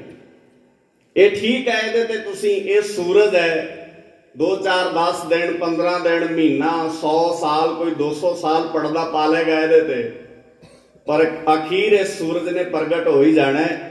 ਔਰ ਜਿੱਦਣ ਇਹ ਸੂਰਜ ਪ੍ਰਗਟ ਹੋਏਗਾ ਉਦੋਂ ਇਹ ਬੋਲ ਮੇਰੇ ਸੱਚ ਹੋਣਗੇ, ਉਹ ਲਿਖਦਾ ਇਸ ਹਿੰਦ ਮੇ ਇੱਕ ਹੀ ਤੀਰਥ ਹੈ, ਯਾਤਰਾ ਕੇ ਲਈ ਬਾਪ ਨੇ ਕਟਾਏ ਬੱਚੇ ਜਹਾਂ ਖੁਦਾ ਕੇ ਲਈ ਨਹੀਂ, ਨਿੱਕੀ ਗੱਲ ਥੋੜੀ ਹੈ ਕਿ ਕਹਿੰਦਾ ਜੇ ਕੋਈ ਮੈਨੂੰ ਪੁੱਛੇ ਨਾ ਵੀ ਇਸ ਭਾਰਤ ਵਿੱਚ ਕੋਈ ਤੀਰਥ ਹੈਗਾ ਤੇ ਮੈਂ ਕਹਾਂਗਾ ਇੱਕੋ ਹੀ ਹੈ। ਕਿ ਕਿਹਨੇ ਲਿਖਿਆ ਅੱਲਾ ਯਾਰ ਖਾਂ ਜੋਗੀ ਨੇ। ਜਿਹਦਾ ਸਬੰਧ ਇਸਲਾਮ ਧਰਮ ਨਾਲ ਹੈ। ਤੋ ਇਸ ਕਰਕੇ ਗੁਰੂ ਕੇ ਪਿਆਰ ਵਾਲਿਓ ਆਪਣੇ ਬਾਪੂ ਦੀਆਂ ਯਾਦਾਂ ਨੂੰ ਕਦੀ ਧਿਆਨ ਨਾਲ ਸਮਝ ਕੇ ਵੇਖੋ। ਕਿਉਂ ਲਿਖਦਾ ਅੱਲਾ ਯਾਰ ਖਾਂ ਜੋਗੀ ਇਦਾਂ ਕਿਉਂ ਕਹਿੰਦਾ ਵੀ ਬਾਕੀ ਕਿਸੇ ਨਾਲ ਮੁਕਾਬਲਾ ਨਹੀਂ ਹੋ ਸਕਦਾ ਕਲਗੀਆਂ ਵਾਲੇ ਦਾ? ਕਿਉਂ ਕਹਿੰਦਾ ਵੀ ਕਿਸੇ ਨਾਲ ਤੁਸੀਂ ਕੰਪੈਰੀਜ਼ਨ ਕਰ ਹੀ ਨਹੀਂ ਸਕਦੇ, ਕਿਸੇ ਨਾਲ ਤਰਜੀਹ ਦੇ ਹੀ ਨਹੀਂ ਸਕਦੇ ਕਲਗੀਆਂ ਵਾਲੇ ਦੀ। ਔਰ ਆਪਣੇ ਸ਼ਬਦਾਂ 'ਚ ਇੱਥੋਂ ਤੱਕ ਉਹ ਸ਼ਬਦ ਵਰਤਦਾ ਉਹ ਕਹਿੰਦਾ, ਤੁਸੀਂ ਮੈਨੂੰ ਕਹਿੰਦੇ ਹੋ ਸਾਰੇ ਰਹਿਬਰਾਂ ਦੇ ਬਾਰੇ ਲਿਖਦੇ, ਪਰ ਮੇਰੇ ਤੋਂ ਲਿਖਿਆ ਨਹੀਂ ਜਾਣਾ, ਕਿਉਂਕਿ ਮੈਂ, ਮੈਨੂੰ ਇਸ ਗੱਲ ਦਾ ਅਹਿਸਾਸ ਹੈ ਕਿ ਗੁਰੂ ਗੋਬਿੰਦ ਪਾਤਸ਼ਾਹ ਦਾ ਰਤਬਾ ਦਿਗਰ ਹੈ। ਜੰਡਕ ਮੈਂ ਫਿਰੇ ਰਾਮ ਤੋਂ ਸੀਤਾ ਥੀ ਬਗਲ ਮੇ, ਲਛਮਣ ਥਾ ਬਿਰਾਦਰ ਬਨ ਰਾਮ ਕੋ ਘਰ ਥਾ। 14 ਸਾਲਾਂ ਦਾ ਵਨਵਾਸ ਮਿਲਿਆ ਰਾਮ ਭਗਵਾਨ ਨੂੰ, ਜਿਹੜੇ ਰਾਮ ਨੂੰ ਮੰਨਦੇ ਨੇ ਮੁਬਾਰਕ ਭਾਈ। ਰੱਜ ਰੱਜ ਕੇ ਮੰਨੋ। ਕੋਈ ਇਤਰਾਜ਼ ਨਹੀਂ, ਕਿਸੇ ਨੂੰ ਹੋਣਾ ਵੀ ਨਹੀਂ ਚਾਹੀਦਾ। ਮੰਨਣਾ ਰੱਜ ਰੱਜ ਕੇ ਮੰਨੋ। ਪਰ ਉਹ ਅੱਲਾ ਯਾਰ ਖਾਂ ਜੋਗੀ ਕਹਿੰਦਾ ਜੋ ਤੁਸੀਂ ਬਰਾਬਰਤਾ ਦੀ ਗੱਲ ਕਰਦੇ ਹੋ ਨਾ, ਤੇ ਫਿਰ ਮੈਨੂੰ ਐ ਲੱਗਦਾ ਡੰਡਕ ਮੈਂ ਫਿਰ ਡੰਡਕ ਕਹਿੰਦੇ ਨੇ ਜੰਗਲ ਨੂੰ। डंडक में फिरे राम तो सीता थी बगल में लक्ष्मण था बिरादर बन राम को घर था ਬਾਕੀ ਹੈ ਕਨਈਆ ਨਹੀਂ ਉਨਕਾ ਪਿਸਰ ਥਾ ਪਿਸਰ ਕਹਿੰਦੇ ਨੇ ਫਾਰਸੀ ਚ ਪੁੱਤਰ ਨੂੰ ਕਹਿੰਦਾ ਬਾਕੀ ਹੈ ਕਨਈਆ ਨਹੀਂ ਉਨਕਾ ਪਿਸਰ ਥਾ ਗੁਰੂ ਗੋਬਿੰਦ ਕਾ तो रुतबा ही दिगर था कटवा दिए शिष्य श्याम ने गीता को सुनाकर ਰੂਹ ਫੂਕ ਲਈ ਗੋਬਿੰਦ ਨੇ ਔਲਾਦ ਕਟਾ ਕਰ। ਦੱਸੋ ਦੁਨੀਆ ਦਾ ਰਹਿਬਰ ਆਪਣੇ ਸੇਵਕਾਂ ਲਈ ਕਿਸੇ ਨੇ ਪੁੱਤ ਕਟਾਏ ਹੋਣਗਾ ਕੌਣ ਕਟਾਉਂਦਾ ਕਿਸੇ ਲਈ ਆਪਣੇ ਬੱਚੇ? ਔਰ ਮਹਾਰਾਜ ਸੱਜੇ ਪਾਤਸ਼ਾਹ ਜੀ ਨੇ ਸੋਹਣ ਸਿੰਘ ਸੀਤਲ ਨੇ ਨਾ ਕਲਗੀਆਂ ਵਾਲੇ ਨੂੰ ਲਿਖਿਆ ਮਨੁੱਖਤਾ ਦੇ ਗੁਰੂ। ਉਹਨਾਂ ਨੇ ਪੁਸਤਕ ਲਿਖੀ, ਉਹ ਕਹਿੰਦੇ, ਮਨੁੱਖਤਾ ਦੇ ਗੁਰੂ। ਮੇਰਾ ਕਲਗੀਆਂ ਵਾਲਾ ਦੁਨੀਆ ਦੇ ਅੰਦਰ ਕਿਸੇ ਇੱਕ ਫਿਰਕੇ ਦਾ ਗੁਰੂ ਨਹੀਂ ਸੀ, ਚੇਤੇ ਰੱਖਿਓ ਗੱਲ, ਉਹ ਮਨੁੱਖਤਾ ਦਾ ਗੁਰੂ ਹੈ। ਇਸ ਕਰਕੇ ਜਦੋਂ ਵੀ ਜਿੱਥੇ ਜ਼ੁਲਮ ਨੇ ਦਸਤਕ ਦੇਣੀ ਹੈ, ਉੱਥੇ ਕਲਗੀਆਂ ਵਾਲੇ ਨੇ ਬੋੜੀ ਕਰਨੀ ਕਰਨੀ ਹੈ। ਉਹ ਅੱਜ ਵੀ ਕਰਦਾ ਹੈ। ਅੱਜ ਵੀ ਕਰਦਾ ਹੈ। ਜੇ ਨਹੀਂ ਚੇਤਾ ਆਉਂਦਾ ਤੇ ਕਿਸਾਨੀ ਸੰਘਰਸ਼ ਨੂੰ ਯਾਦ ਕਰ ਲਓ। ਤੁਹਾਨੂੰ ਪਤਾ ਲੱਗ ਜਾਏਗਾ, ਕਲਗੀਆਂ ਵਾਲੇ ਨੇ ਅੱਜ ਵੀ ਤੁਹਾਡੇ ਵਿੱਚ ਵਰਤਣਾ ਹੀ ਹੁੰਦਾ ਹੈ, ਅੱਜ ਵੀ ਵਰਤਦਾ ਮਹਾਰਾਜ ਸੱਚੇ ਪਾਤਸ਼ਾਹ ਜੀ ਨੇ ਅੱਜ ਦੀ ਰਾਤ ਨੂੰ ਚਮਕੌਰ ਦੀ ਗੜੀ ਛੱਡਣੀ, ਅੱਜ ਦਾ ਜਿਹੜਾ ਦਿਨ ਹੈ ਨਾ, ਇਸ ਦਿਨ ਮੇਰੇ ਬਾਪੂ ਨੇ ਆਪਣੇ ਦੋ ਪੁੱਤਰਾਂ ਦੀਆਂ ਲਾਸ਼ਾਂ ਅੱਖਾਂ ਦੇ ਨਾਲ ਵੇਖਣੀਆਂ ਸੀ। ਧਿਆਨ ਨਾਲ ਸਮਝਿਓ ਗੱਲ ਨੂੰ ਹੁਣ। ਮੈਂ ਸ਼ਬਦ ਬਾਣੀ ਵਿੱਚੋਂ ਵਰਤੇ ਸੀ, ਸੂਰਾ ਸੋ ਪਹਿਚਾਨੀਏ ਜੋ ਲੜੇ ਦੀਨ ਕੇ ਹੇਤ। ਸੂਰਮਾ ਉਹ ਹੁੰਦਾ ਜਿਹੜਾ ਦੀਨ ਦੀ ਲੜਾਈ ਲੜੇ, ਧਰਮ ਦੀ ਲੜਾਈ ਲੜੇ, ਜਿਹੜੀਆਂ ਆਪਣੀਆਂ ਨਿੱਕੀਆਂ ਨਿੱਕੀਆਂ ਲੜਾਈਆਂ ਲੜੇ, ਆਪਣੇ ਮੁਫਾਦ ਲਈ ਲੜੇ, ਜਿਹੜਾ ਚੌਧਰਾਂ ਲਈ ਲੜੇ, ਉਹਨੂੰ ਧਰਮੀ ਨਹੀਂ ਕਹਿੰਦੇ, ਉਹਨੂੰ ਸੂਰਮਾ ਨਹੀਂ ਕਹਿੰਦੇ, ਉਹ ਬਹੁਤ ਸੈਲਫਿਸ਼ ਲੋਕ ਹੁੰਦੇ ਨੇ। ਬਹੁਤ ਘੱਟ ਸੋਚਣ ਵਾਲੇ ਲੋਕ ਹੁੰਦੇ ਨੇ ਪਰ ਅਸੀਂ ਭੁੱਲ ਜਾਂਦੇ ਆ ਬਹੁਤ ਛੇਤੀ। ਸਾਡੀ ਆਦਤ ਹੈ, ਅਸੀਂ ਚੰਗੀਆਂ ਚੀਜ਼ਾਂ ਨੂੰ ਭੁਲਾਉਂਦੇ ਰਹਿੰਦੇ ਆ ਮਹਾਰਾਜ ਸੱਚੇ ਪਾਤਸ਼ਾਹ ਜੀ ਦੇ ਅੱਜ ਦੇ ਦਿਨ ਆਪਣੇ ਦੋ ਜਵਾਨ ਪੁੱਤਾਂ ਨੂੰ ਮੈਦਾਨੇ ਜੰਗ 'ਚ ਤੋਰ ਦਿੱਤਾ ਸੀ। ਅੱਜ ਦੀ ਜਿਹੜੀ ਰਾਤ ਹੈ ਨਾ ਆ ਜਿਹੜੀ ਰਾਤ ਪੈਣੀ ਹੈ ਚਮਕੌਰ ਦੀ ਗੜੀ 'ਚ, ਦਇਆ ਸਿੰਘ ਨੇ ਆਣ ਕੇ ਕਲਗੀਆਂ ਵਾਲੇ ਨੂੰ ਕਿਹਾ, ਮਹਾਰਾਜ, ਸੱਚੇ ਪਾਤਸ਼ਾਹ ਜੀ, ਹੁਣ ਤੁਹਾਨੂੰ ਚਮਕੌਰ ਦੀ ਗੜੀ ਛੱਡ ਦੇਣੀ ਚਾਹੀਦੀ ਹੈ। ਮਹਾਰਾਜ ਨੇ ਕਿਹਾ, ਹੱਦ ਹੋ ਗਈ ਹੈ ਦਇਆ ਸਿਆਂ ਕੱਲ ਤੱਕ ਮੈਂ ਇੱਥੇ ਕੁਝ ਸਿੱਖਾਂ ਨਾਲ ਸ਼ਾਮਲ ਸਾਂ। ਅੱਜ ਮੇਰੇ ਪੁੱਤ ਵੀ ਗਏ, ਮੇਰੇ ਜਾਨੋ ਪਿਆਰੇ ਸਿੱਖ ਵੀ ਗਏ। ਤੇ ਤੁਸੀਂ ਮੈਨੂੰ ਕਹਿੰਦੇ ਹੋ ਵੀ ਚਮਕੌਰ ਦੀ ਗੜੀ ਛੱਡ ਜਾਓ। ਨਹੀਂ ਇਦਾਂ ਨਹੀਂ ਹੋ ਸਕਦਾ। ਦਇਆ ਸਿੰਘ ਨੇ ਹੱਥ ਜੋੜ ਕੇ ਬੇਨਤੀ ਕੀਤੀ, ਕਲਗੀਆਂ ਵਾਲਿਆ, ਜੇ ਤੂੰ ਚਮਕੌਰ ਦੀ ਗੜੀ ਅੱਜ ਛੱਡ ਜਾਏਗਾ, ਤੇ ਸ਼ਾਇਦ ਭਾਰਤ ਦੀ ਤਸਵੀਰ ਕਿਸੇ ਹੋਰ ਤਰ੍ਹਾਂ ਦੀ ਬਣ ਜਾਏ। ਜੇ ਤੁਸੀਂ ਅੱਜ ਚਮਕੌਰ ਦੀ ਗੜੀ ਨਾ ਛੱਡੀ, ਤੇ ਇਤਿਹਾਸ ਵਿੱਚ ਗੱਲ ਹੋਰ ਤਰ੍ਹਾਂ ਲਿਖੀ ਜਾਣੀ ਹੈ। ਮਹਾਰਾਜ ਨੇ ਕਿਹਾ, ਜਾਨ ਤੋਂ ਪਿਆਰੇ ਪੁੱਤਾਂ ਨੂੰ ਵਾਰ ਕੇ, ਜਾਨ ਤੋਂ ਪਿਆਰੇ ਸਿੱਖਾਂ ਨੂੰ ਵਾਰ ਕੇ ਚਮਕੌਰ ਦੀ ਗੜੀ ਛੱਡੀ ਨਹੀਂ ਜਾ ਸਕਦੀ। ਇੱਕ ਬੇਨਤੀ ਹੋਰ ਧਿਆਨ ਨਾਲ ਸਮਝ ਲਿਓ, ਕਲਗੀਧਰ ਪਾਤਸ਼ਾਹ ਜੀ ਦੇ ਨਾਲ ਇੱਕ ਸ਼ਬਦ ਅਸੀਂ ਬਹੁਤ ਪ੍ਰਚਲਿਤ ਕੀਤਾ ਆਪੇ ਗੁਰ ਚੇਲਾ। ਹਾਲਾਂਕਿ ਸ਼ਬਦ ਬਾਣੀ ਵਿੱਚ ਗੁਰੂ ਰਾਮਰਦਾਸ ਪਾਤਸ਼ਾਹ ਜੀ ਨੇ ਵੀ ਵਰਤਿਆ, ਗੁਰੂ ਰਾਮਦਾਸ ਜੀ ਨੇ ਵੀ ਵਰਤਿਆ। ਤੇ ਗੁਰੂ ਗ੍ਰੰਥ ਸਾਹਿਬ ਪਾਤਸ਼ਾਹ ਜੀ ਦੀ ਬਾਣੀ ਦਾ ਸੰਵਿਧਾਨ ਹੀ ਘੜਿਆ ਇਦਾਂ ਕਿ ਹੈ। ਜਦੋਂ ਜਿਹੜਾ ਵੀ ਗੁਰੂ ਗੁਰਤਾ ਗੱਦੀ ਤੇ ਬੈਠਦਾ ਹੈ, ਦੂਸਰਾ ਗੁਰੂ ਆਪਣੇ ਆਪ ਨੂੰ ਚੇਲਾ ਸਾਬਤ ਕਰ ਲੈਂਦਾ, ਉਸ ਗੁਰੂ ਦੇ ਹੁੰਦੇ ਆ ਸਾਰੇ ਗੁਰੂ ਸਾਹਿਬਾਨਾਂ ਨੇ ਐ ਕੀਤਾ ਪਰ ਕਲਗੀਧਰ ਪਾਤਸ਼ਾਹ ਜੀ ਦੇ ਨਾਲ ਇਹ ਗੱਲ ਬਹੁਤ ਜੁੜੀ ਹੈ। ਧੰਨ ਕਲਗੀਧਰ ਪਾਤਸ਼ਾਹ ਜੀ ਨੂੰ ਦਇਆ ਸਿੰਘ ਨੇ ਬੇਨਤੀ ਕੀਤੀ, ਉਹਨਾਂ ਪ੍ਰਵਾਨ ਨਾ ਕੀਤੀ। ਦਇਆ ਸਿੰਘ ਨੇ ਕਿਹਾ, ਮੈਂ ਹੁਕਮ ਕਰਦਾ ਤੁਹਾਨੂੰ ਚਮਕੌਰ ਦੀ ਗੜੀ ਛੱਡਣੀ ਪੈਣੀ ਹੈ। ਜੇ ਬੇਨਤੀ ਨਹੀਂ ਮੰਨਦੇ ਤਾਂ ਹੁਕਮ ਤਾਂ ਮੰਨਣਾ ਪਏਗਾ ਨਾ। ਤੁਸੀਂ ਆਪੇ ਕਹੇ, ਪੰਜਾਂ ਚ ਖਾਲਸਾ ਦੇ ਵਿੱਚ ਗੁਰੂ ਵਸਦਾ ਤੇ ਹੁਣ ਦਇਆ ਸਿੰਘ ਸਿੱਖ ਹੋ ਕੇ ਬੇਨਤੀ ਨਹੀਂ ਕਰਦਾ, ਹੁਣ ਦਇਆ ਸਿੰਘ ਗੁਰੂ ਹੋ ਕੇ ਹੁਕਮ ਲਾਉਂਦਾ ਤੁਹਾਨੂੰ ਚਮਕੌਰ ਦੀ ਗੜੀ ਛੱਡਣੀ ਪਏਗੀ। ਆ ਜਿਹੜੀ ਰਾਤ ਹੈ ਨਾ, ਅਸੀਂ ਜਦੋਂ ਬੈਠੇ ਆ ਮਹਾਰਾਜ ਨੇ ਚਮਕੌਰ ਦੀ ਗੜੀ ਛੱਡਣੀ ਹੈ। ਸੱਚੇ ਪਾਤਸ਼ਾਹ ਜੀ ਕਹਿੰਦੇ, ਠੀਕ ਹੈ, ਮੈਂ ਚਮਕੌਰ ਦੀ ਗੜੀ ਛੱਡ ਦੇਣਾ ਮੇਰੇ ਨਾਲ ਗਿਣਤੀ ਦੇ ਕੁਝ ਸਿੱਖ ਜਾਣਗੇ। ਹੁਣ ਤੁਸੀਂ ਸਿੱਖ ਦਾ ਪਿਆਰ ਵੇਖਿਓ, ਗੁਰੂ ਨਾਲ ਕਿੱਡਾ ਕਮਾਲ ਦਾ ਜਿਨੇ ਚਮਕੌਰ ਦੀ ਗੜੀ 'ਚ ਰਹਿਣਾ ਹੈ, ਉਹਨੇ ਸ਼ਹਾਦਤ ਦਾ ਜਾਮ ਪੀਣਾ ਸੂਰਾ ਸੋ ਪਹਿਚਾਨੀ ਹੈ ਜੋ ਲਰੇ ਦੀਨ ਕੇ ਹੇਤ ਜਿਹੜਾ ਗੜੀ ਵਿੱਚ ਰਹੇਗਾ, ਉਹ ਸ਼ਹਾਦਤ ਦਾ ਜਾਮ ਪੀਗਾ। ਜਿਹੜਾ ਗੜੀ ਵਿੱਚੋਂ ਕਲਗੀਆਂ ਵਾਲੇ ਦੇ ਨਾਲ ਜਾਏਗਾ, ਉਹਦੀ ਜਾਨ ਬਚ ਜਾਣੀ ਹੈ। ਮਹਾਰਾਜ ਤਿਆਰ ਹੋ ਗਏ, ਹੁਣ ਗੜੀ ਵਿੱਚੋਂ ਕੋਈ ਨਾਲ ਜਾਣ ਲਈ ਤਿਆਰ ਨਹੀਂ। ਕਿੱਡੀ ਅਜੀਬ ਗੱਲ ਹੈ। ਸਾਨੂੰ ਪਤਾ ਲੱਗਦਾ ਜਾਏ ਕਿ ਕਿਸੇ ਥਾਂ ਤੇ ਜਾ ਕੇ ਮੁਸ਼ਕਲ ਤੋਂ ਬਚਿਆ ਜਾ ਸਕਦਾ ਅਸੀਂ ਤੇ ਅੱਗੇ ਲੱਗ ਤੁਰਦੇ ਆ ਫਟਾਫਟ। ਪਰ ਮਹਾਰਾਜ ਸੱਚੇ ਪਾਤਸ਼ਾਹ ਜੀ ਦੇ ਨਾਲ ਸਿੱਖ ਕਿੰਨੀ ਰੀਝ ਨਾਲ ਤਿਆਰ ਕੀਤੇ ਨੇ। ਸਿੱਖ ਚਮਕੌਰ ਦੀ ਗੜੀ ਚੋਂ ਬਾਹਰ ਮਹਾਰਾਜ ਸੱਚੇ ਪਾਤਸ਼ਾਹ ਜੀ, ਅਸੀਂ ਇੱਥੇ ਮੈਦਾਨੇ ਜੰਗ ਵਿੱਚ ਜੂਝ ਕੇ ਸ਼ਹਾਦਤ ਦਾ ਜਾਮ ਪੀਾਂਗੇ ਤੁਸੀਂ ਚਮਕੌਰ ਦੀ ਗੜੀ ਛੱਡ ਜਾਓ। ਖੈਰ, ਫੈਸਲਾ ਹੋਇਆ, ਤਿੰਨ ਸਿੱਖਾਂ ਨੇ ਗੁਰੂ ਸਾਹਿਬ ਜੀ ਦੇ ਨਾਲ ਚਮਕੌਰ ਦੀ ਗੜੀ ਛੱਡੀ। ਪੰਜਾਂ ਪਿਆਰਿਆਂ ਵਿੱਚ ਦੋ ਦਇਆ ਸਿੰਘ ਜੀ, ਧਰਮ ਸਿੰਘ ਜੀ ਤੇ ਤੀਜੇ ਸਿੱਖ ਦਾ ਜ਼ਿਕਰ ਇਤਿਹਾਸ ਵਿੱਚ ਕੀਤਾ ਮਾਨ ਸਿੰਘ ਜੀ। ਇਹਨਾਂ ਤਿੰਨ ਸਿੱਖਾਂ ਨੇ ਗੁਰੂ ਸਾਹਿਬ ਜੀ ਦੇ ਨਾਲ ਚਮਕੌਰ ਦੀ ਗੜੀ ਛੱਡੀ। ਮਹਾਰਾਜ ਸੱਚੇ ਪਾਤਸ਼ਾਹ ਜੀ ਨੇ ਉੱਚੀ ਆਵਾਜ਼ ਵਿੱਚ ਕਿਹਾ, ਹਿੰਦ ਦਾ ਪੀਰ ਜਾ ਰਿਹਾ ਉੱਚੀ ਆਵਾਜ਼ ਵਿੱਚ ਕਿਹਾ, ਕਲਗੀਆਂ ਵਾਲਾ ਜਾ ਰਿਹਾ ਡਰ ਕੇ ਨਹੀਂ ਨਿਕਲਿਆ ਮੇਰਾ ਬਾਪੂ ਉਥੋਂ। ਮਹਾਰਾਜ ਸੱਚੇ ਪਾਤਸ਼ਾਹ ਜੀ ਦੇ ਨਿਕਲਣ ਤੋਂ ਬਾਅਦ ਹਫੜਾ ਦਫੜੀ ਇੰਨੀ ਮਚ ਗਈ। ਬਹੁਤ ਸਾਰੀ ਮੁਗਲ ਸਲਤਨਤ ਦੇ ਵਿੱਚ ਜਾਂ ਮੁਗਲ ਸਿਪਾਹੀਆਂ ਵਿੱਚ ਇੰਨੀ ਹਿਲਜੁਲ, ਇੰਨੀ ਅਫੜਾ ਦਫੜੀ ਮਚੀ। ਵੀ ਉਹਨਾਂ ਨੁਕਸਾਨ ਮੁਗਲ ਸਿਪਾਹੀਆਂ ਦਾ ਦੇਣ ਵਾਲੀ ਚਮਕੌਰ ਦੀ ਜੰਗ ਵਿੱਚ ਨਹੀਂ ਸੀ ਹੋਇਆ, ਜਿੰਨੇ ਰਾਤ ਵਿੱਚ ਆਪਸ ਵਿੱਚ ਲੜ ਕੇ ਮਰੇ ਸਮਝ ਨਹੀਂ ਸੀ ਲੱਗ ਰਹੀ ਕਿਧਰੋਂ ਕਿਹੜਾ ਜਾ ਰਿਹਾ ਤੇ ਕੌਣ ਕਿਹਦੇ ਤੇ ਵਾਰ ਕਰ ਰਿਹਾ। ਇਹ ਮੇਰੇ ਕਲਗੀਆਂ ਵਾਲੇ ਦੀ ਇੱਕ ਜੰਗ ਨੀਤੀ ਦਾ ਹਿੱਸਾ ਹੈ। ਇਤਿਹਾਸ ਨੇ ਬੜਾ ਪਿਆਰਾ ਲਿਖਿਆ, ਮਹਾਰਾਜ ਸੱਚੇ ਪਾਤਸ਼ਾਹ ਜਦੋਂ ਜਾਣ ਲੱਗੇ ਤੇ ਦਇਆ ਸਿੰਘ ਨੇ ਮਨੁੱਖਤਾ ਦਾ ਗੁਰੂ ਮੇਰਾ ਬਾਪੂ ਕਿਵੇਂ ਹੈ? ਕਿਉਂ ਅੱਲਾ ਯਾਰ ਖਾਂ ਜੋਗੀ ਕੂ ਕੂ ਕੇ ਕਹਿੰਦਾ ਕਲਗੀਆਂ ਵਾਲੇ ਵਰਗਾ ਦੁਨੀਆ 'ਚ ਕੋਈ ਨਹੀਂ। ਕੋਆਂ ਦੇ ਇਤਿਹਾਸ ਦੇ ਹਰਫ ਲਿਖਣ ਵਾਲੇ ਕਹਿੰਦੇ ਨੇ, ਦੁਨੀਆ ਦੇ ਅੰਦਰ ਬਥੇਰੇ ਨਾਇਕ ਹੋਣਗੇ, ਪਰ ਕਲਗੀਆਂ ਕਲਗੀਧਰ ਪਾਤਸ਼ਾਹ ਜੀ ਵਰਗਾ ਕੋਈ ਨਹੀਂ। ਆ ਇੱਕ ਰੂਪ ਵੇਖਿਓ ਕਲਗੀਆਂ ਵਾਲੇ ਦਾ। ਔਰ ਪਿਆਰ ਕਲਗੀਆਂ ਵਾਲਾ ਸਿੱਖਾਂ ਨੂੰ ਇੰਨਾ ਕਰਦਾ ਹੈ ਨਾ ਜਿਹਦਾ ਰਹਿ ਰੱਬ ਦਾ ਨਾਮ ਗੁਰੂ ਦੇ ਪਿਆਰ ਦੀ ਸ਼ਬਦਾਂ ਨਾਲ ਵਿਆਖਿਆ। ਮੇਰੇ ਵਰਗਾ ਬੰਦਾ ਦੱਸੇ ਵੀ ਗੁਰੂ ਪਿਆਰ ਕਿੰਨਾ ਕਰਦਾ ਹੈ। ਮੈਨੂੰ ਲੱਗਦਾ ਵੀ ਔਕਾਤ ਨਹੀਂ ਮੇਰੇ ਵਰਗੇ ਬੰਦੇ ਦੀ ਵੀ ਗੁਰੂ ਦੀ ਪਿਆਰ ਦੀ ਪਰਿਭਾਸ਼ਾ ਦੇ ਸਕਾਂ ਮੈਂ। ਜਿਹੜਾ 9 ਸਾਲ ਦੀ ਉਮਰ ਵਿੱਚ ਆਪਣੇ ਪਿਤਾ ਨੂੰ ਤੋਰ ਸਕਦਾ ਕਿਸੇ ਦੇ ਘਰ ਚੁੱਲ੍ਹੇ ਬਾਲਣ ਲਈ, ਕਿਸੇ ਦੇ ਘਰ ਖੁਸ਼ਹਾਲੀ ਵੰਡਣ ਵਾਸਤੇ ਉਹ ਕਲਗੀਆਂ ਵਾਲਾ ਆਪਣੇ ਪੁੱਤਾਂ ਨੂੰ ਪਿਆਰ ਕਿੰਨਾ ਕਰਦਾ ਹੋਣਾ, ਇਹਦਾ ਅੰਦਾਜ਼ਾ ਇਸ ਗੱਲ ਤੋਂ ਲਾਇਆ ਜਾ ਸਕਦਾ। ਕਿੰਨਾ ਪਿਆਰ ਉਹ ਆਪਣੇ ਪੁੱਤਾਂ ਨਾਲ ਕਰਦੇ ਹੋਣਗੇ?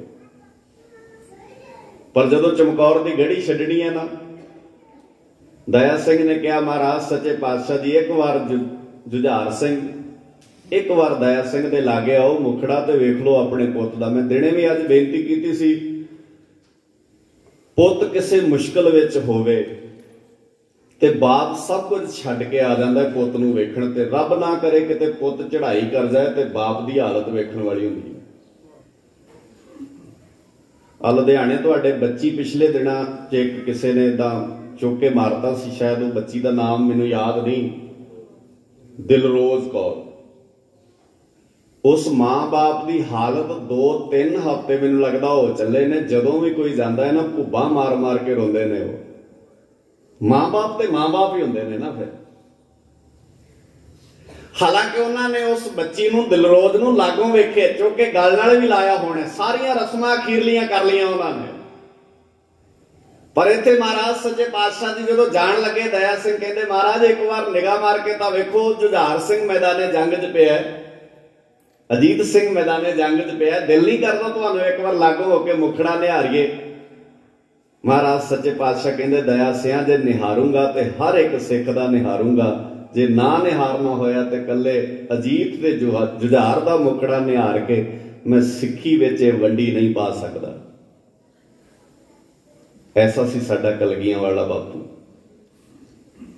ਐਵੇਂ ਨਹੀਂ ਕੂਕ ਕੂਕ ਕੇ ਲੋਕ ਯਾਦ ਕਰਦੇ ਆ ਇਹ ਗੱਲ ਵੱਖਰੀ ਹੈ, ਸਿੱਖ ਭੁਲਾ ਦਿੰਦੇ ਨੇ। ਮੈਂ ਪਹਿਲਾਂ ਕਿਹਾ ਇੱਕ ਵਾਰ ਤੇ ਮਹਾਰਾਜ ਸੱਚੇ ਪਾਤਸ਼ਾਹ ਜੀ ਵੇਖ ਲਓ। ਚਰਨ ਸਿੰਘ ਸਫਰੀ ਨੇ ਬੜਾ ਪਿਆਰਾ ਲਿਖਿਆ ਕਈ ਵਾਰ ਇਦਾਂ ਮੈਂ ਕਹਿੰਦਾ ਕਵੀ ਦੀ ਆਪਣੀ ਭਾਵਨਾ ਹੁੰਦੀ ਉਹ ਕਹਿੰਦਾ ਮਹਾਰਾਜ, ਸੱਚੇ ਪਾਤਸ਼ਾਹ ਜੀ, ਬੜੇ ਹੀ ਗਰੀਬ ਮਾਪੇ ਇਸ ਜੱਗ ਵਿੱਚੋਂ ਗਏ ਨੇ ਆਗਿਆ ਤੇ ਕਰੋ, ਮੈਂ ਆਪਣੇ ਤਨ ਦਾ ਇਹ ਦਮਾਲਾ ਲਾਵਾਂ ਤੇ ਇਹਦੇ ਦੋ ਟੁਕੜੇ ਬਣਾ ਕੇ ਅਜੀਤ ਜੁਦਾਰ ਦਾ ਤਨ ਤੇ ਕਰ ਜਾਵਾਂ ਘਟੋ ਘਟ। ਗਰੀਬ ਤੋਂ ਗਰੀਬ ਪਿਤਾ ਵੀ ਆਪਣੇ ਪੁੱਤਰਾਂ ਦੀ লাশ ਕਫਨ ਨਾਲ ਕੱਜ ਲੈਂਦਾ ਤੇ ਕਲਗੀਆਂ ਵਾਲਿਆ ਤੂੰ ਤੇ ਦੋ ਜਹਾਨਾਂ ਦਾ ਵਾਲੀ ਹੈ ਤੇ ਉਹ ਲਿਖਦਾ ਹੈ, ਬੜੇ ਹੀ ਗਰੀਬ ਮਾਪੇ ਇਸ ਜੱਗ ਵਿੱਚ ਪਏ ਨੇ ਦਾਤਾ, ਕਫਣੋਂ ਬਗੈਰ ਦੱਸ ਕਿਹਦੇ ਪੁੱਤ ਗਏ ਨੇ? ਕਦੀ ਕਫਣ ਤੋਂ ਬਿਨਾ ਵੀ ਕਿਸੇ ਪਿਓ ਦਾ ਪੁੱਤ ਗਿਆ ਤੇ ਮਹਾਰਾਜ ਸੱਚੇ ਪਾਤਸ਼ਾਹ ਜੀ ਕਹਿੰਦੇ, ਮੈਨੂੰ ਰਤਾ ਪਰਵਾਹ ਨਹੀਂ। ਕਹਿ ਲੈਣ ਦੁਨੀਆ ਨੇ ਜੋ ਕਹਿਣਾ ਪਰ ਦਇਆ ਸਿਆ ਮੈਂ ਇੱਕ ਗੱਲ ਤੋਂ ਡਰਦਾ। ਮੈਨੂੰ ਇਹ ਨਹੀਂ ਫ਼ਰਕ ਪੈਂਦਾ ਕੋਈ ਕਵੇ ਵੀ ਅਜੀਤ ਦੇ ਦੁਜਾਰ ਜਾਂਦੇ ਵੇਰੇ ਮਹਾਰਾਜ ਸੱਚੇ ਪਾਤਸ਼ਾਹ ਨੇ ਉਹਨਾਂ ਤੇ ਕਫੜ ਨਹੀਂ ਪਾਇਆ, ਉਹਨਾਂ ਦੇ ਚਿਹਰੇ ਨਹੀਂ ਕੱਜੇ, ਉਹਨਾਂ ਨੂੰ ਲਾਗਿਓ ਨੇ ਹਾਰਿਆ ਨਹੀਂ, ਉਹਨਾਂ ਨੂੰ ਚੁੱਕ ਕੇ ਗਲਵਕੜੀ ਵਿੱਚ ਨਹੀਂ ਲਿਆ। ਇਹ ਸਾਰਾ ਕੁਝ ਮੈਂ ਸੁਣ ਸਕਦਾ। ਮੈਨੂੰ ਰਤਾ ਪਰਵਾਹ ਨਹੀਂ, ਜੱਗ ਸਾਰਾ ਮੈਨੂੰ ਬੇਸ਼ੱਕ ਜੰਗ ਦਾ ਚੋਰ ਸਮਝੇ, ਪਰ ਮੈਂ ਇਹ ਨਾ ਸੁਣਾ, ਦਇਆ ਸਿੰਘਾ, ਗੁਰੂ ਨੇ ਸਿੱਖ ਹੋਰ ਸਮਝੇ? ਗੱਜ ਕੇ ਬੋਲੋ, ਸਿੱਖ ਹੋਰ ਸਮਝੇ ਤੇ ਪੁੱਤ ਹੋਰ ਸਮਝੇ? ਤੇ ਅੱਜ ਕਿਹੜੇ ਪੁੱਤ ਹੋਰ ਭਲਾ? ਜਿਹੜੇ ਪੁੱਤਾਂ ਦੇ ਉੱਤੋਂ ਦੀ ਵਾਰ ਕੇ ਕਲਗੀਆਂ ਵਾਲੇ ਨੇ, ਸਾਬੋ ਕੀ ਤਲਵੰਡੀ ਧਰਤੀ ਤੇ ਕਿਹਾ ਸੀ, ਜਦੋਂ ਪੁੱਛਿਆ ਮਾਂ ਨੇ, ਮੇਰਾ ਅਜੀਤ ਨਹੀਂ ਦਿਸਦਾ, ਮੇਰਾ ਜੁਝਾਰ ਨਹੀਂ ਦਿਸਦਾ, ਮੇਰਾ ਜੋਰਾਵਰ ਨਹੀਂ ਦਿਸਦਾ, ਤੇ ਮੇਰੇ ਦਾਤੇ ਨੇ ਬੜੇ ਮਾਣ ਨਾਲ ਕਿਹਾ, ਫਿਕਰ ਨਾ ਕਰ, ਮੈਂ ਅਜੀਤ, ਜੁਝਾਰ ਜ਼ਰੂਰ ਵਾਰ ਆਇਆ ਪਰ ਉਹਨਾਂ ਚਾਰਾਂ ਨੂੰ ਵਾਰ ਕੇ ਹਜ਼ਾਰਾਂ ਤੇਰੇ ਬਣਾਏ ਨੇ। ਸਾਡੇ ਵੱਲ ਕਿਹਾ ਸੀ, ਇਨ ਪੁੱਤਰਨ ਕਹਿ ਤੁਹਾਡੇ ਮੇਰੇ ਵਾਲੀ ਇਸ਼ਾਰਾ ਕੀਤਾ ਸੀ ਨਾ। ਇਨ ਪੁੱਤਰਨ ਕੈ ਸੀਸ ਪੈ, ਵਾਰ ਦੀਏ ਸੁਤ ਚਾਰ ਚਾਰ ਹੋਏ ਤਾਂ ਕੀ ਹੁਆ? ਕੀ ਹੋਇਆ ਜੇ ਚਾਰ ਨਹੀਂ ਹੈਗੇ ਤੇ? ਜੀਵਤ ਕਈ ਹਜ਼ਾਰ ਕਲਗੀਆਂ ਵਾਲਿਆ ਨਿਗਾ ਮਾਰ ਕੇ ਵੇਖ, ਜਿਨ੍ਹਾਂ ਨੂੰ ਤੂੰ ਆਪਣੇ ਪੁੱਤ ਵਾਰ ਕੇ ਆਪਣੇ ਬਣਾਇਆ ਸੀ ਨਾ, ਅੱਜ ਉਹਨਾਂ ਨੂੰ ਤੇਰਾ ਨਾਂ ਲੈਂਦੇ ਆ ਡਰ ਆਉਂਦਾ ਹੈ। ਤੇਰਾ ਨਾਂ ਲੈਣਾ ਨਹੀਂ ਚਾਹੁੰਦੇ ਉਹ। ਉਹਨਾਂ ਨੂੰ ਚੰਗੀ ਨਹੀਂ ਲੱਗਦੀ ਸਿੱਖੀ ਹੋਣ ਕਿੰਨਾ ਕੋਈ ਪਿਆਰ ਆਪਣੇ ਪੁੱਤਾਂ ਨਾਲ ਕਰ ਸਕਦਾ ਕਿੰਨਾ ਕੁ ਸਿੱਖਾਂ ਨਾਲ ਪਿਆਰ ਕਰਦਾ ਵੀ ਉਹ ਇਦਾਂ ਮੈਦਾਨੇ ਜੰਗ ਵਿੱਚ ਵੀ ਇੰਨੀ ਰੀਝ, ਇੰਨਾ ਪਿਆਰ ਕਰਦਾ ਆਪਣੇ ਪੁੱਤਾਂ ਨਾਲ। ਤੇ ਅੱਜ ਸਾਨੂੰ ਕਲਗੀਆਂ ਵਾਲਾ ਚੰਗਾ ਨਹੀਂ ਲੱਗਦਾ। ਅੱਜ ਕਲਗੀਆਂ ਵਾਲੇ ਦੀ ਪੱਗ ਭਾਰੀ ਲੱਗਣ ਲੱਗ ਪਈ ਪੰਜਾਬ ਦੀ ਜਵਾਨੀ ਨੂੰ। ਮੇਰੀਆਂ ਭੈਣਾਂ ਨੂੰ ਸਿਰਾਂ ਤੇ ਚੁੰਨੀਆਂ ਭਾਰੀਆਂ ਲੱਗਣ ਲੱਗ ਪਈਆਂ। ਗੱਲ ਨਹੀਂ ਬਣਨੀ, ਸਿਰਫ ਪੋਹ ਦੇ ਮਹੀਨੇ ਵਿੱਚ 21 ਤਰੀਕ ਤੋਂ ਲੈ ਕੇ 27 ਤਰੀਕ ਤੱਕ ਯਾਦ ਕਰਦੇ ਆ ਜ਼ਿੰਦਗੀ ਦਾ ਕੋਈ ਸਾਹ ਐਸਾ ਨਾ ਚੱਲੇ ਜਿੱਦਣ ਸਾਨੂੰ ਕਲਗੀਆਂ ਵਾਲਾ ਭੁੱਲੇ। ਜਿਹਨੇ ਪਿਆਰ ਕਰਨਾ ਹੈ ਨਾ ਕਲਗੀਆਂ ਵਾਲੇ ਨਾਲ, ਕਦੀ ਪਿਆਰ ਦੀ ਪਰਿਭਾਸ਼ਾ ਜੇ ਕਲਗੀਆਂ ਵਾਲੇ ਦੀ ਪੜ੍ਹਨੀ ਹੋਈ, ਤੇ ਭਾਈ ਨੰਦ ਲਾਲ ਸਿੰਘ ਨੂੰ ਪੜ੍ਹ ਕੇ ਵੇਖਿਓ, ਭਾਈ ਨੰਦ ਲਾਲ ਸਿੰਘ ਜੀ ਕਹਿੰਦੇ, ਜਿੱਦਣ ਮੈਂ ਮਰਾਂ, ਜਿੱਦਣ ਮੈਂ ਇਸ ਦੁਨੀਆ ਤੋਂ ਜਾਵਾਂ, ਇੱਕ ਹਵਾ ਦਾ ਬੁੱਲਾ ਨਾ ਚੱਲੇ ਉਧਰ। ਤੇ ਕਿਸੇ ਨੇ ਪੁੱਛਿਆ ਨੰਦ ਲਾਲ ਸਿਆ, ਜਦੋਂ ਤੂੰ ਚਲੇ ਜਾਣਾ ਹੈ, ਹਵਾ ਵਗਣ ਨਾ ਵਗਣ ਨਾਲ ਕੀ ਫ਼ਰਕ ਪੈਂਦਾ? ਕਿਉਂ ਇੰਨੇ ਤਰਲੇ ਲੈਣਾ ਕਿ ਜਿੱਦਣ ਮੈਂ ਮਰਾਂ, ਜਿੱਦਣ ਮੈਂ ਇਸ ਦੁਨੀਆ ਤੋਂ ਜਾਵਾਂ, ਹਵਾ ਦਾ ਬੁੱਲਾ ਨਾ ਵਗੇ? ਭਾਈ ਨੰਦ ਲਾਲ ਸਿੰਘ ਜੀ, ਮੈਂ ਇਸ ਕਰਕੇ ਕਹਿਣਾ ਜਿੱਦਣ ਮੈਂ ਇਸ ਦੁਨੀਆ ਤੋਂ ਜਾਵਾਂ, ਜਿਉਂਦੇ ਜੀ ਤੇ ਕਲਗੀਆਂ ਵਾਲੇ ਦਾ ਲੜ ਨਹੀਂ ਛੱਡਿਆ, ਇਹ ਨਾ ਹੋਵੇ ਕੋਈ ਹਵਾ ਦਾ ਬੁੱਲਾ, ਮੇਰੀ ਮੜੀ ਦੀ ਰਾਖ ਹੀ ਉਡਾ ਕੇ ਕਿਤੇ ਹੋਰ ਲੈ ਜਾਏ। ਕਿੰਨਾ ਕੋਈ ਪਿਆਰ ਕਰ। ਇਹ ਨਹੀਂ ਵੀ ਜੇ ਗੁਰੂ ਨੇ ਸਿੱਖਾਂ ਨਾਲ ਪਿਆਰ ਕੀਤਾ ਤੇ ਸਿੱਖਾਂ ਨੇ ਵੀ ਗੁਰੂ ਨਾਲ ਕਮਾਲ ਦਾ ਪਿਆਰ ਕੀਤਾ ਮਹਾਰਾਜ ਸੱਚੇ ਪਾਤਸ਼ਾਹ ਦੀ ਚਮਕੌਰ ਦੀ ਗੜੀ ਚੋਂ ਬਾਹਰ ਨਿਕਲੇ, ਸਾਰੀ ਰਾਤ ਸਫ਼ਰ ਕੀਤਾ ਅੱਜ ਦੇ ਦਿਨ ਮਹਾਰਾਜ ਨੇ, ਨੰਗੇ ਪੈਰੀ ਦੋ ਜਹਾਨਾਂ ਦਾ ਵਾਲੀ, ਕਦੀ ਸੋਨੇ ਦੇ ਤੀਰ ਲਾ ਕੇ ਚਲਾਉਣ ਵਾਲਾ, ਕਦੀ ਪ੍ਰਸਾਦੀ ਹਾਥੀ ਚੜਾਉਣ ਵਾਲੇ ਕਦੀ ਲਿਲਕੜੀਆਂ ਕੱਢਦੇ ਸੀ ਆਣ ਕੇ, ਉਸ ਵੇਲੇ ਦੇ ਪਹਾੜੀ ਰਾਜੇ ਕਲਗੀਆਂ ਵਾਲਿਆ ਬਹਿ ਲੈਣ ਦੇ ਆਪਣੀ ਪੰਗਤ ਵਿੱਚ। ਮਹਾਰਾਜ ਸੱਚੇ ਪਾਤਸ਼ਾਹ ਦੀ ਸਾਰੀ ਰਾਤ ਇਹਨਾਂ ਦਿਨਾਂ ਵਿੱਚ ਅਸੀਂ ਘਰਾਂ ਚੋਂ ਨਿਕਲੇ ਆ। ਅਸੀਂ ਸਾਰੇ ਇਹ ਕਹਿ ਕੇ ਆਏ ਆ ਅਸੀਂ ਘੰਟੇ 2 ਘੰਟੇ ਤੱਕ ਘਰ ਆ ਜਾਣਾ ਠਰੂ ਠਰੂ ਕਰਦੇ ਆ ਕੱਪੜੇ ਮੋਟੇ ਪਾਏ ਨੇ, ਇੰਨਾ ਐ ਲੱਗਦਾ ਸਾਨੂੰ ਕੋਈ ਇਦਾਂ ਖਤਰੇ ਵਾਲੀ ਗੱਲ ਨਹੀਂ ਹੈ। ਪਰ ਮੇਰਾ ਦਾਤਾਰ ਸੱਚੇ ਪਰਸੋਂ ਵਾਲੀ ਰਾਤ ਮਹਾਰਾਜ ਸੱਚੇ ਪਾਤਸ਼ਾਹ ਜੀ ਨੇ ਸਮੇਤ ਪਰਿਵਾਰ, ਸਾਰੀ ਰਾਤ ਸਫ਼ਰ ਕੀਤਾ। ਸਮੇਤ ਪਰਿਵਾਰ, ਪਰਸੋਂ ਵਾਲੀ ਰਾਤ ਟੱਬਰ ਕੱਲਾ ਇਕੱਠਾ ਸੀ। ਅੱਜ ਵਾਲੀ ਰਾਤ ਕੱਲ ਵਾਲੀ ਜਿਹੜੀ ਰਾਤ ਲੰਗੀ, ਉਹ ਪਰਿਵਾਰ ਅਲੱਗ-ਅਲੱਗ ਹੋ ਗਿਆ ਸੀ। ਛੋਟੇ ਸਾਹਿਬਜ਼ਾਦੇ ਕੁੰਮੇ ਮਾਸਕੀ ਦੇ ਘਰ। ਕੱਲ ਵਾਲੀ ਰਾਤ ਜਿਹੜੀ ਇਸ ਛੋਟੇ ਸਾਹਿਬਜ਼ਾਦਿਆਂ ਨੇ ਮਾਤਾ ਗੁਜਰ ਕੌਰ ਨੇ ਕੁੰਮੇ ਮਾਸਕੀ ਦੀ ਛੰਨ ਵਿੱਚ ਕੱਟੀ ਸੀ। ਤੇ ਮੈਂ ਅੱਜ ਦਿਨੇ ਵੀ ਕਿਹਾ ਸੀ, ਕੁੰਮੇ ਮਾਸਕੀ ਦੀ ਛੰਨ ਵਿੱਚ ਮੇਰੇ ਦਾਦੇ ਦੇ ਲਾਲ ਕੀ ਬੈਠੇ, ਕੁੰਮੇ ਮਾਸਕੀ ਦੀ ਛੰਨ ਨਹੀਂ ਰਹਿ ਗਈ, ਉਹ ਮਹਿਲ ਬਣ ਗਏ ਹੁਣ। ਮੱਥਾ ਟੇਕਣ ਜਾਂਦੇ ਨੇ ਲੋਕ ਉਹਨੂੰ। ਕਿੰਨੇ ਪੁੱਛਣਾ ਸੀ ਕੁੰਮੇ ਮਾਸਕੀ ਦੀ ਛੰਨ ਨੂੰ? ਜੇ ਬਾਜਾਂ ਵਾਲਿਆ ਤੇਰੇ ਲਾਲ ਨਾ ਜਾਂਦੇ। ਤੇ ਵਜ਼ੀਰ ਖਾਨ ਕਹਿੰਦਾ ਸੀ ਸਹਿਬਜ਼ਾਦਿਆਂ ਦਾ ਨਾਮੋ ਨਿਸ਼ਾਨ ਮਿਟਾ ਦੇਣਾ ਅੱਜ ਕੌਣ ਦੱਸੇ ਵਜੀਦੇ ਨੂੰ ਜਿਹੜੇ ਜਿਹੜੇ ਰਾਹ ਮੇਰੇ ਬਾਪੂ ਦੇ ਲਾਲ ਲਾਂਗੇ ਲੋਕ ਉਹਨਾਂ ਰਾਹਾਂ ਨੂੰ ਮੱਥੇ ਟੇਕਦੇ ਨੇ ਅੱਜ? ਬੋਲੇ ਸੋਨਿਹਾ। ਐ ਥੋੜੀ ਮਿਟ ਜਾਂਦੇ ਹੁੰਦੇ ਨੇ ਨਿਸ਼ਾਨ ਕਿਤੇ। ਤੂੰ ਚਾਹੁੰਦਾ ਸੀ ਜਿੱਧਰ ਜਿੱਧਰ ਸਹਿਬਜ਼ਾਦੇ ਜਾਣਗੇ ਇਹਨਾਂ ਦਾ ਨਾਮੋ ਨਿਸ਼ਾਨ ਮਿਟਾ ਦੇਾਂਗੇ ਜੇ ਕਿਤੇ ਤੂੰ ਅੱਜ ਵੇਦਾ ਹੋਵੇਂ ਨਿਗਾਹ ਮਾਰ ਕੇ ਵੇਖ, ਸਹਿਬਜ਼ਾਦੇ ਜਿਹੜੇ ਜਿਹੜੇ ਰਾਹੀ ਲੰਗੇ ਉਹਨਾਂ ਉਹਨਾਂ ਰਾਹੀ ਸਿੱਖ ਅੱਖਾਂ ਵਿਛਾ ਕੇ ਉਹਨਾਂ ਰਾਹਾਂ ਨੂੰ ਮੱਥੇ ਟੇਕਦੇ ਫਿਰਦੇ। ਅਸੀਂ ਪਿਆਰ ਕਰਦੇ ਆ ਆਪਣੇ ਗੁਰੂ ਦੇ ਪੁੱਤਾਂ ਨੂੰ। ਕਰਦੇ ਕਿਉਂ ਆ ਕਿਉਂਕਿ ਗੁਰੂ ਨੇ ਸਾਡੇ ਲਈ ਬਹੁਤ ਕੁਝ ਕੀਤਾ ਤੇ ਗੁਰੂ ਕੇ ਪਿਆਰ ਵਾਲਿਓ, ਮੇਰੇ ਦਾਤਾਰ ਸੱਚੇ ਪਾਤਸ਼ਾਹ ਜੀ ਨੇ ਸਾਰੀ ਰਾਤ ਸਫ਼ਰ ਕੀਤਾ। ਸਾਰੀ ਰਾਤ ਸਫ਼ਰ ਕਰਦੇ ਆ। ਜਿਹੜੀ ਕੱਲ ਵਾਲੀ ਰਾਤ ਹੈ, ਕੱਲ ਦਾ ਜਿਹੜਾ ਦਿਨ ਹੈ, ਮਹਾਰਾਜ ਮਾਛੀਵਾੜੇ ਪਹੁੰਚਣੇ ਨੇ, ਕੱਲ ਵਾਲੇ ਦਿਨ।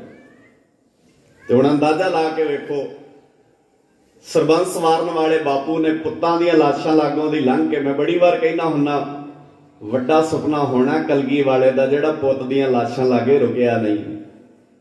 ਨਹੀਂ ਤੇ ਲੋਕ ਪੁੱਤਾਂ ਦੀਆਂ ਲਾਸ਼ਾਂ ਲਾਗੇ ਰੁਕ ਕੇ ਜ਼ਿੰਦਗੀ ਰੋਕ ਲੈਂਦੇ ਨੇ। ਮੈਂ ਵੇਖੇ ਨੇ ਉਹ ਘਰ। ਜਿਨ੍ਹਾਂ ਦੇ ਘਰਾਂ ਦੇ ਚਿਰਾਗ ਬੁੱਝ ਜਾਣ, ਉਹ ਰੋਟੀ ਖਾਣਾ ਛੱਡ ਦਿੰਦੇ ਨੇ, ਪਾਣੀ ਪੀਣਾ ਛੱਡ ਦਿੰਦੇ ਨੇ।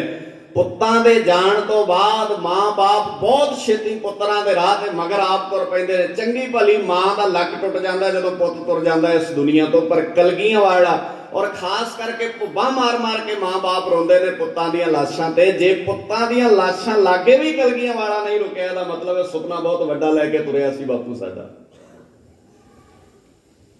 ਤੇ ਉਹ ਸੁਪਨਾ ਪੂਰਾ ਕਿਨੇ ਕਰਨਾ ਹੈ? ਇਹ ਚੇਤਾ ਰੱਖਿਓ। ਅੱਲਾ ਯਾਰ ਖਾਂ ਜੋਗੀ ਨੇ ਲਿਖਿਆ ਉਹ ਕਹਿੰਦਾ, ਸਹਿਬਜ਼ਾਦੇ ਜਦੋਂ ਨੀਹਾਂ ਤੇ ਚਿਣ ਲੱਗੇ ਨਾ, ਉਹਨਾਂ ਨੇ ਐ ਸੋਚਿਆ, ਹੁਣ ਹਮ ਜਾਨ ਦੇ ਕੇ ਬੋਲੋ ਗੱਜ ਕੇ, ਹਮ ਜਾਨ ਦੇ ਕੇ ਔਰੋਂ ਕੀ ਜਾਨੇ ਬਚਾ ਚੱਲੇ। ਤੁਹਾਡੀ ਜਾਨ ਇਸ ਕਰਕੇ ਨਹੀਂ ਬਚਾ ਚੱਲੇ ਵੀ ਨਾ ਹੀ ਨਾ ਲਿਓ ਸਾਡਾ। ਤਾਂ ਬਚਾ ਚੱਲੇ ਆ। ਮਨੁੱਖਤਾ ਨੂੰ ਜਿਉਂਦਾ ਰੱਖਿਓ ਸੰਸਾਰ ਦੇ ਅੰਦਰ ਇਨਸਾਨੀਅਤ ਨਾ ਮਰਨ ਦਿਓ हम जान दे के औरों की जाने बचा चले बुराई का है किस्सा जहां में बना चले गद्दी तख्तो ताज अब कौम पाएगी कौन पाएगा ਕੌਮ ਪਾਏਗੀ ਤੇ ਆਪਾਂ ਕੌਮ ਹੀ ਆ ਨਾ ਸਾਡੇ ਵਾਲੀ ਤੇ ਕਿਹਾ ਸੀ ਕਿ ਇਹਨੂੰ ਪੁੱਤਰਨ ਕੇ ਸੀਸ ਪੈ ਵਾਰ ਦੀ ਸੁਧ ਚਾਰ ਤੇ ਮੈਂ ਬੜੀ ਵਾਰ ਕਹਿਣਾ ਹੁੰਨਾ, ਸਿੱਖੋ, ਜੇ ਤੁਸੀਂ ਥੋੜੇ ਜਿਹੇ ਧਿਆਨ ਨਾਲ ਕਿਤੇ ਬਾਣੀ ਦੇ ਇਤਿਹਾਸ ਨੂੰ ਪੜਿਆ ਹੁੰਦਾ ਨਾ, ਅੱਜ ਪੂਰੀ ਦੁਨੀਆ ਨੇ ਤੁਹਾਡੇ ਤੋਂ ਐਗਜ਼ਾਮਪਲਾਂ ਲਿਆ ਕਰਨੀਆਂ ਸੀ ਤੁਸੀਂ ਉਦਾਹਰਣ ਹੋਣਾ ਸੀ ਦੁਨੀਆ ਦੇ ਅੰਦਰ। ਨਪੋਲੀਅਨ ਬੋਨਾਪਾਰਕ ਵਾਟਰਲੂ ਵਿੱਚ ਅਖੀਰਲੀ ਜੰਗ ਹਾਰਿਆ। ਨਪੋਲੀਅਨ ਬੋਨਾਪਾਰਕ ਅਖੀਰਲੀ ਜੰਗ ਵਾਟਰਲੂ ਵਿੱਚ ਹਾਰਿਆ। ਉਹ ਆਪਣੇ ਲੋਕਾਂ ਲਈ ਤੁਰਿਆ। ਹਾਰ ਗਿਆ ਜੰਗ। ਜਿਹੜੇ ਲੋਕ ਉਸ ਜੰਗ ਵਿੱਚ ਸ਼ਹਾਦਤ ਦਾ ਜਾਮ ਪੀ ਗਏ ਸਨ ਉਹਨਾਂ ਦੀ ਸਮਾਰਕ, ਉਹਨਾਂ ਦੀ ਸਮਾਧ ਬਣੀ ਹੈ ਉੱਥੇ। ਉਹਨਾਂ ਦੀ ਯਾਦ ਬਣਾਈ ਹੈ ਉਹਨਾਂ ਨੇ। ਤੇ ਉਹਨਾਂ ਨੇ ਉਸ ਯਾਦ ਦੇ ਉੱਪਰ ਲਿਖਿਆ ਉਹ ਕਹਿੰਦੇ ਨੇ, ਜਿਹੜੇ ਆਏ ਹੋ ਤੁਹਾਡਾ ਧੰਨਵਾਦ। ਜਿਹੜੇ ਨਹੀਂ ਆਏ, ਉਹਨਾਂ ਨੂੰ ਜਾ ਕੇ ਦੱਸਿਓ, ਕੋਈ ਤੁਹਾਡੇ ਕੱਲ ਦੇ ਸੁੱਖ ਲਈ ਆਪਣਾ ਕੱਲ ਦੇ ਸੁੱਖ ਵਾਸਤੇ ਅੱਜ ਨੂੰ ਦੁਖੀ ਕਰਕੇ, ਅੱਜ ਦੇ ਸੁੱਖ ਨੂੰ ਤਿਆਗ ਕੇ ਤੁਹਾਡੇ ਸੁੱਖ ਲਈ ਲੜਿਆ ਜਦੋਂ ਮੈਂ ਇਤਿਹਾਸ ਵਿੱਚ ਪੜ੍ਹਦਾ ਮੈਂ ਕਹਿੰਦਾ, ਜਦੋਂ ਸਾਡੇ ਇਤਿਹਾਸ ਦੀ ਗੱਲ ਕਰੋਗੇ, ਦੁਨੀਆ ਦੇ ਅੰਦਰ ਤਾਂ ਕਿਤੇ ਕਿਤੇ ਵਾਪਰੀਆਂ ਗੱਲਾਂ ਨੇ। ਜਿੱਦਣ ਤੁਸੀਂ ਕਿਹੜੇ ਥਾਂ ਜਾਓਗੇ, ਮਾਛੀਵਾੜੇ ਜਾਓਗੇ ਤੇ ਮਾਛੀਵਾੜਾ ਤੁਹਾਨੂੰ ਕੂ ਕੂ ਕੇ ਕਹੇਗਾ, ਦੁਨੀਆ ਦੇ ਲੋਕੋ, ਅੱਜ ਦੇ ਦਿਨ ਮੈਂ ਇੱਥੇ ਬਿਨਾਂ ਬਿਸਤਰੇ ਤੋਂ, ਬਿਨਾਂ ਕਿਸੇ ਕੱਪੜੇ ਤੋਂ, ਬਿਨਾਂ ਕਿਸੇ ਸੁੱਖ ਤੋਂ ਤਾਂ ਸੁੱਤਾ ਸੀ, ਕਿਉਂਕਿ ਤੁਸੀਂ ਦੁਨੀਆ ਦੇ ਲੋਕਾਂ ਦੇ ਸੁੱਖ ਦਿਓ ਦੁਨੀਆ ਨੂੰ। ਕਿੱਥੇ ਚੇਤੇ ਕੀਤੇ ਅਸੀਂ? ਚਮਕੌਰ ਦੀ ਗੜੀ ਜਾ ਕੇ ਸਿਰਫ ਇੱਕ ਫੋਟੋ ਖਿੱਚ ਕੇ ਫੇਸਬੁੱਕ ਤੇ ਨਹੀਂ ਪਾ ਦਿੰਦੀ, ਅੱਜ ਸ਼ਹੀਦਾਂ ਨਾਲ ਇਦਾਂ ਨਹੀਂ ਸ਼ਹੀਦਾਂ ਨਾਲ ਹੋਇਆ ਜਾਂਦਾ। ਐ ਨਹੀਂ ਹੁੰਦੀਆਂ ਸ਼ਹੀਦਾਂ ਨਾਲ ਸਾਂਝਾਂ।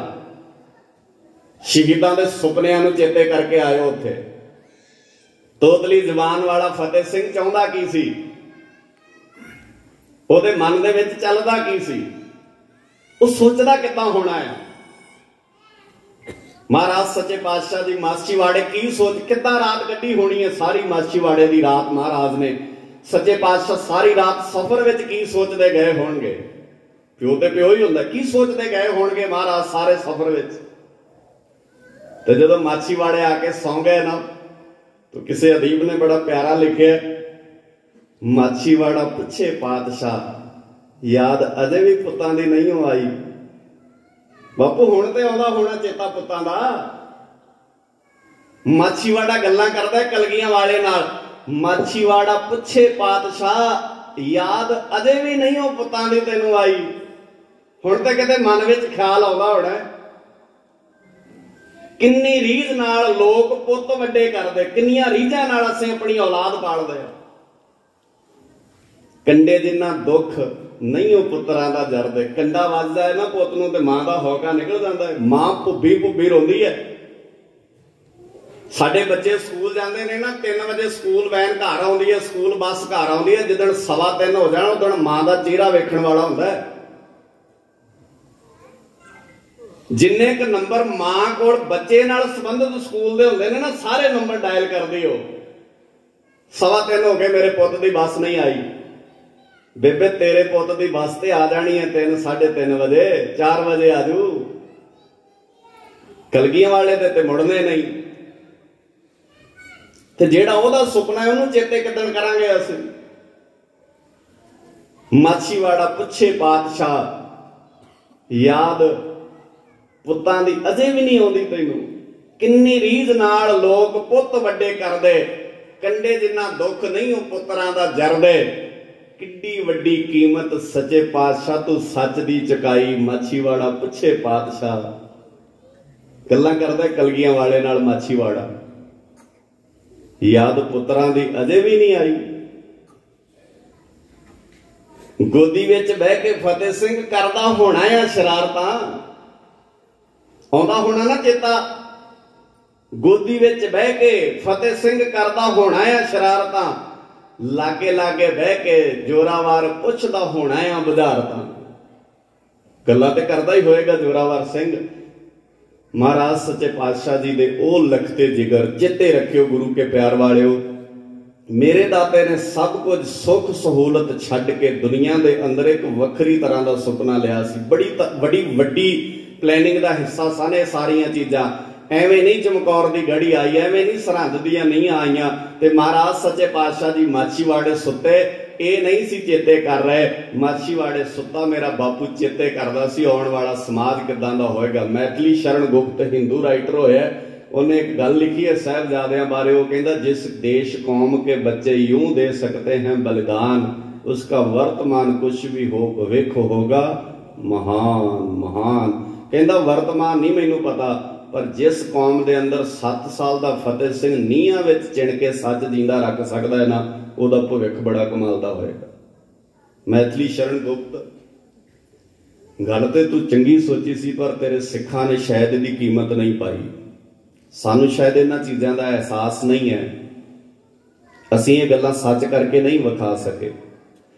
ਅੱਜ ਅਸੀਂ ਇਹ ਸਮਝ ਹੀ ਨਹੀਂ ਸਕੇ ਸੂਰਮਾ ਕੀ ਹੁੰਦਾ ਹੈ। ਸੂਰਾ ਸੋ ਪਹਿਚਾਨੀਏ, ਜੋ ਲੜੇ ਦੀਨ ਕੇ ਕੀ ਤੇ ਧਰਮ ਲਈ ਲੜਿਆ ਕਰੋ। ਆਪਣਿਆਂ ਨਾਲ ਲੜਿਆ ਕਰੋ।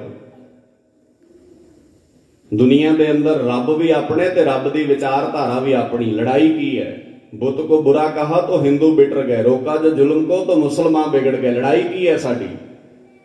ਗੁਰੂ ਗ੍ਰੰਥ ਸਾਹਿਬ 'ਚ ਇਸਲਾਮ ਨਾਲ ਸੰਬੰਧਿਤ ਬਾਬਾ ਫਰੀਦ ਜੀ ਦੀ ਬਾਣੀ ਦਰਜ ਹੈ। 11 ਭੱਟਾਂ ਦੀ ਬਾਣੀ ਗੁਰੂ ਗ੍ਰੰਥ ਸਾਹਿਬ 'ਚ ਦਰਜ ਹੈ। ਇਹ ਦੁਨੀਆ 'ਚ ਐਸਾ ਗ੍ਰੰਥ ਹੈ ਜਿਹਦੇ 'ਚ ਲਿਖਿਆ ਹੈ, ਖੱਤਰੀ ਬ੍ਰਾਹਮਣ ਸ਼ੂਦ ਵੈਸ, ਉਪਦੇਸ਼, ਚੌ ਵਰਨਾ, ਕੋ ਸਾਂਝਾ ਕਿਸੇ ਨਾਲ ਕੋਈ ਵੈਰ ਨਹੀਂ, ਕੋਈ ਵਿਤਕਰਾ ਨਹੀਂ ਕਿਸੇ ਨਾਲ। ਕਲਗੀਆਂ ਵਾਲੇ ਦੀ ਕਿਹੜੀ ਗੱਲ ਚੰਗੀ ਨਹੀਂ ਲੱਗਦੀ? ਹਮਕੋ ਹਮਾਰਾ ਖੂਬ ਤੁਮਕੋ ਤੁਹਾਰਾ ਖੂਬ ਇਹ ਚੰਗਾ ਨਹੀਂ ਲੱਗਦਾ। ਇੱਥੇ ਗੱਲ ਇਹ ਚੱਲਦੀ ਸੀ, ਜਾਂ ਸਾਡੀ ਚੱਲੇਗੀ ਜਾਂ ਤੁਹਾਡੀ ਚੱਲੇਗੀ, ਦੋਵਾਂ ਚੋਂ ਇੱਕੋ ਹੀ ਬਚੇਗਾ। ਮਹਾਰਾਜ ਸੱਚੇ ਪਾਤਸ਼ਾਹ ਜੀ ਨੇ ਕਿਹਾ, ਨਹੀਂ, ਜਿਹਦਾ ਜੋ ਹੈਗਾ ਉਹਨੂੰ ਚੱਲਣ ਦਿਓ। ਕੀ ਸਮੱਸਿਆ ਕੀ ਹੈ ਤੁਹਾਨੂੰ? ਚਾਹੁੰਦੇ ਸੀ ਇਹ ਵਿਚਾਰਧਾਰਾ ਸਦਾ ਵਾਸਤੇ ਖਤਮ ਹੋ ਜਾਏ। ਗੁਰੂ ਕੇ ਪਿਆਰ ਵਾਲਿਓ, ਮਾਛੀਵਾੜੇ ਫੀਲ ਨਾਲ ਕਿਤੇ ਕਿਤੇ ਮਹਿਸੂਸ ਕਰਕੇ ਵੇਖਿਓ ਉਹਨਾਂ ਸਾਰੀਆਂ ਗੱਲਾਂ ਨੂੰ। ਜਾਮਾ ਲੀਰੋ ਲੀਰ ਹੈ ਪੈਰਾਂ ਵਿੱਚ ਲੋਹ ਨੂੰ ਕਲਗੀਆਂ ਵਾਲਿਆਂ ਦੇ। ਆ ਆ ਰਾਤ ਹੈ ਇਦਾਂ ਦੀ ਰਾਤ ਹੈ ਕਾਲੀ ਬੋਲੀ। ਮੜੀ ਦੀ ਹਵਾ ਕਿਸੇ ਝੀਰ ਥਾਣੀ ਵੀ ਲੰਘ ਆਵੇ ਨਾ ਇਹਨਾਂ ਦਿਨਾਂ ਵਿੱਚ, ਜੇ ਕੋਈ ਦਰਵਾਜ਼ਾ ਖੋਲ ਦੇ ਨਾ, ਕਿਤੇ ਕੋਈ ਬਾਰੀ ਖੋਲ ਦੇ ਤੇ ਪਰਲੋ ਆ ਜਾਂਦੀ ਹੈ, ਸਾਡੇ ਘਰ ਤੈਨੂੰ ਸਮਝ ਨਹੀਂ ਲੱਗਦੀ ਕਿੰਨੀ ਹਵਾ ਚੱਲ ਰਹੀ ਹੈ, ਤੂੰ ਬੂਹਾ ਖੋਲ ਦਿੱਤਾ, ਦਰਵਾਜ਼ਾ ਖੋਲ ਦਿੱਤਾ। ਅਸੀਂ ਘਰ ਦੇ ਜੀ ਦੇ ਗਲ ਪੈਣ ਤੱਕ ਜਾਂਦੇ ਆ ਪਰ ਮੇਰਾ ਬਾਪੂ ਰੜੇ ਮੈਦਾਨ ਢੀਮ ਦਾ ਸਰਾਣਾ ਲਾ ਕੇ ਸੁੱਤਾ ਹੈ। ਕਾਦੇ ਲਈ ਸੁੱਤਾ ਹੈ? ਤੁਸੀਂ ਸੁੱਖ ਦੀ ਨੀਂਦ ਸੌਂ ਸਕੋ। ਸਮਾਜ ਖੂਬਸੂਰਤ ਬਣ ਸਕੇ। ਸਮਾਜ ਦੇ ਅੰਦਰ ਲੋਕਾਂ ਨੂੰ ਆਪਣੇ ਹੱਕਾਂ ਦੀ, ਆਪਣੇ ਮਾਣ ਦੀ, ਮਾਣ ਮਰਿਆਦਾ ਨਾਲ ਰਹਿਣ ਦੀ ਜਾਂਚ ਆ ਸਕੇ। ਪਰ ਅਸੀਂ ਸਾਰਿਆਂ ਨੇ ਇਹਨਾਂ ਗੱਲਾਂ ਨੂੰ ਸਮਝਿਆ ਨਹੀਂ ਕਦੇ ਧਿਆਨ ਨਾਲ। ਤੇ ਜੇ ਇਸ ਸਫ਼ਰ ਵਿੱਚ ਸ਼ਾਮਲ ਹੋਏ ਹੋ, ਤੇ ਸੱਚੀ ਮੁੱਚੀ ਨਾਲ ਨਾਲ ਚੱਲਿਓ। ਮਾਛੀਵਾੜੇ ਦਾ ਤਾਰ ਸੱਚੇ ਪਾਤਸ਼ਾਹ ਜੀ ਆ ਕੇ ਜਦੋਂ ਸੌਂ ਗਏ ਨਾ,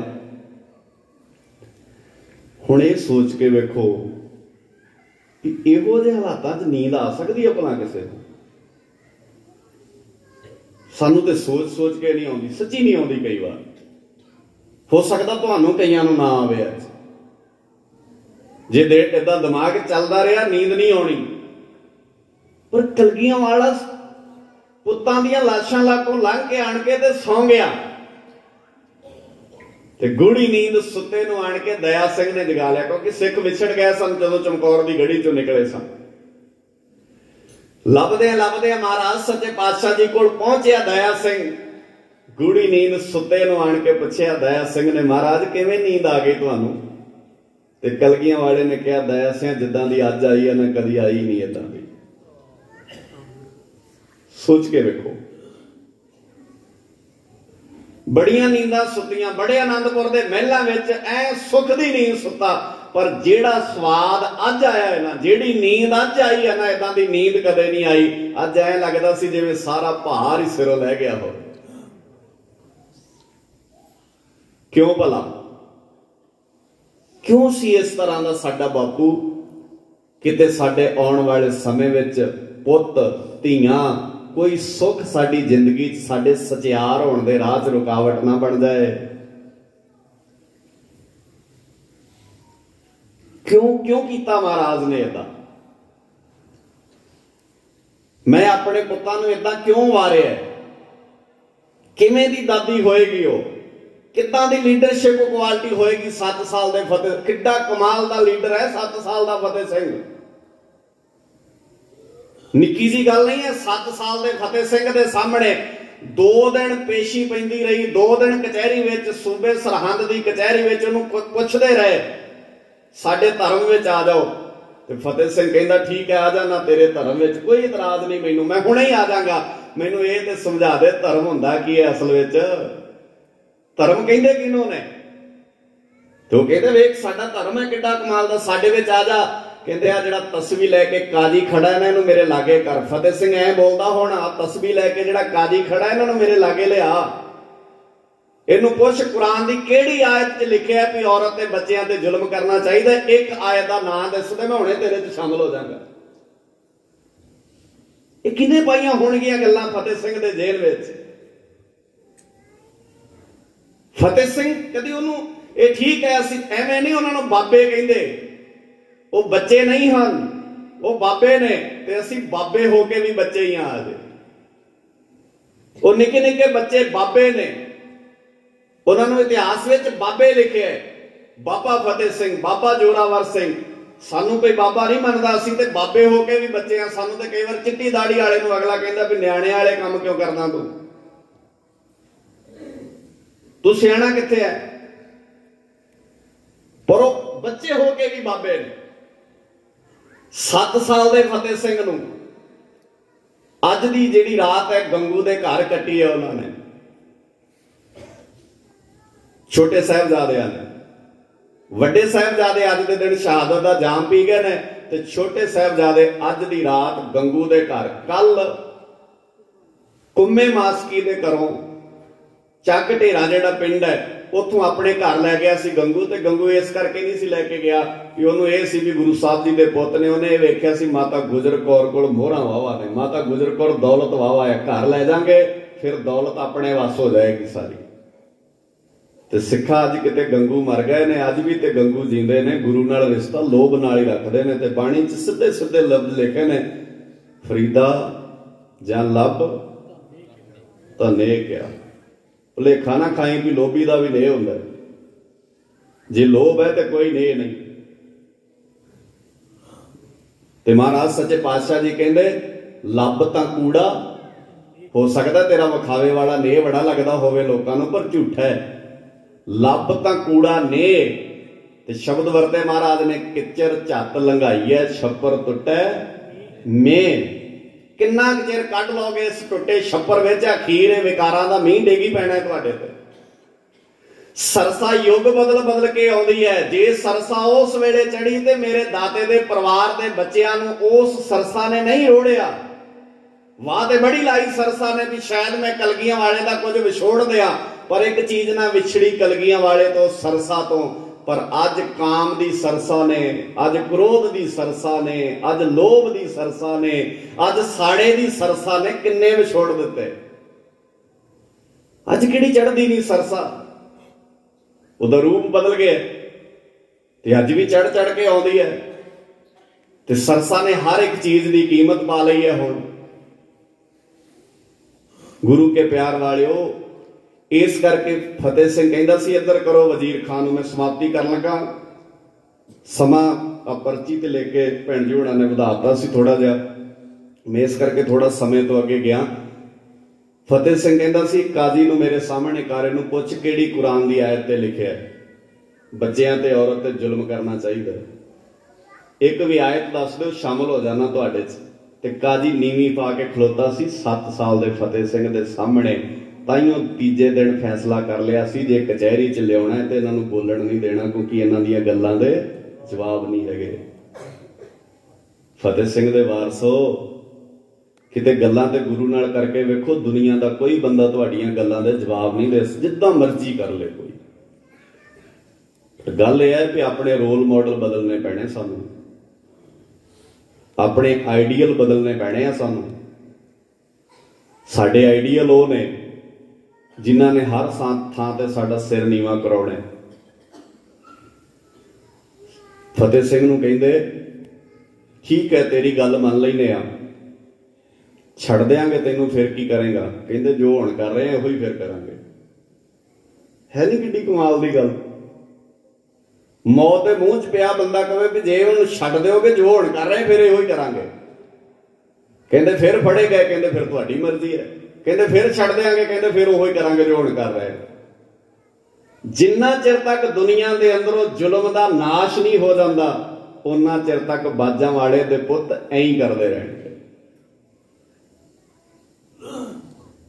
ਹੋ ਸਕਦਾ ਤੇ ਤੂੰ ਆਪਣਾ ਜ਼ੋਰ ਲਾ ਕੇ ਵੇਖ ਲੈ।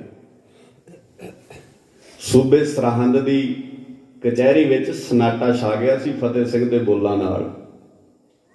ਤੇ ਅੱਜ ਫਤਿਹ ਸਿੰਘ ਦੇ ਬੋਲਾਂ ਨੂੰ ਜੇ ਕੋਈ ਝੂਠੀਆਂ ਪਾ ਲੈਂਦਾ ਨੇ, ਇਹਦਾ ਮਤਲਬ ਹੈ ਫਤਿਹ ਸਿੰਘ ਦੇ ਬੋਲ ਤੁਸੀਂ ਸਿੱਖ ਨਹੀਂ ਸਕੇ। ਉਹ ਲਾਈਨਾਂ ਆਪਾਂ ਹਮੇਸ਼ਾ ਯਾਦ ਕਰਦੇ ਹੁੰਨੇ ਆ ਬੜੀਆਂ ਪਿਆਰੀਆਂ। ਕੀ ਗੱਲ ਹੋ ਗਈ ਸਿੰਘਾ, ਅੱਜ ਤੂੰ ਕੱਲਾ ਹੀ ਤੁਰਿਆ ਆਉਣਾ ਆ। ਕਿਹੜੀ ਗੱਲੋਂ ਮੇਰੇ ਨਾਲ ਤੂੰ ਨਜ਼ਰਾਂ ਨਹੀਂ ਮਿਲਾਉਣਾ ਆ? ਨਾਲ ਨਹੀਂ ਤੂੰ ਲੈ ਕੇ ਆਇਆ, ਜਾਂ ਫਿਰ ਆਉਂਦਾ ਪਿੱਛੇ ਆ। ਤੈਨੂੰ ਸਿੰਘਾ ਦੇ ਕੇ ਗਿਆ ਸੀ ਫਤਿਹ ਸਿੰਘ ਮੇਰਾ। ਵੱਲੋਂ ਗੱਜ ਕੇ, ਤੈਨੂੰ ਸਿੰਘਾ ਦੇ ਕੇ ਗਿਆ ਸੀ ਫਤਿਹ ਸਿੰਘ ਮੇਰਾ। ਦਾਦੀ ਦੇ ਨਾਲ ਬਹਿ ਕੇ ਕੀ ਹੋੜ ਵੀ ਬਾਣੀ ਪੜ੍ਹਦੇ ਨੇ? ਨਾ ਬਾਪੂ, ਹੁਣ ਨਹੀਂ ਪੜ੍ਹਦੇ ਬਾਣੀ। ਹੁਣ ਤਾਂ ਟੀਵੀ ਤੇ ਰਹਿੰਦੇ ਨੇ ਬਹੁਤਾ। ਹੁਣ ਤੇ ਪਬਜੀ ਤੇ ਬੰਦੇ ਮਾਰਦੇ ਨੇ ਅਗਲੇ। ਬਦਲ ਗਿਆ ਮਾਹੌਲ ਬਾਪੂ ਹੁਣ। ਹੁਣ ਤਾਂ ਗੇਮਾਂ 'ਚ ਅੱਗੇ ਜਾਂਦੇ ਨੇ ਉਹ। ਉਹ ਕਹਿੰਦੇ ਨੇ, ਮੈਂ ਇਸ, ਇੱਥੇ ਪਹੁੰਚ ਗਿਆ, ਤੂੰ ਕਿੱਥੇ ਕੁ ਪਹੁੰਚ ਗਿਆ? ਚਰਚਾਵਾਂ ਇਹੋ ਹੀ ਹੁੰਦੀਆਂ ਨੇ, ਤੂੰ ਕਿਹੜੇ ਲੈਵਲ ਤੇ ਆ? ਮੈਂ ਤਾਂ ਇਸ ਲੈਵਲ ਤੇ ਹਾਂ। ਕਮਲਿਓ ਲੈਵਲ ਕਾਹਦਾ ਤੁਹਾਡਾ? ਇਹਨੂੰ ਕੋਈ ਲੈਵਲ ਕਹਿੰਦੇ ਨੇ ਲੈਵਲ ਬਣਾਉਣਾ ਹੋਇਆ ਤੇ ਕਲਗੀਆਂ ਵਾਲੇ ਦੇ ਬੱਚਿਆਂ ਤੋਂ ਬਣਾਇਓ, ਆਪਣਾ ਲੈਵਲ ਕਿੱਦਾਂ ਦਾ ਹੁੰਦਾ ਹੈ? ਕਿਸ ਲੈਵਲ ਤੇ ਹੁੰਨੇ ਆ ਅਸੀਂ? ਕਿੱਦਾਂ ਦਾ ਲੈਵਲ ਬਣਾ ਕੇ ਗਿਆ ਸੀ ਸਾਡਾ ਬਾਪੂ?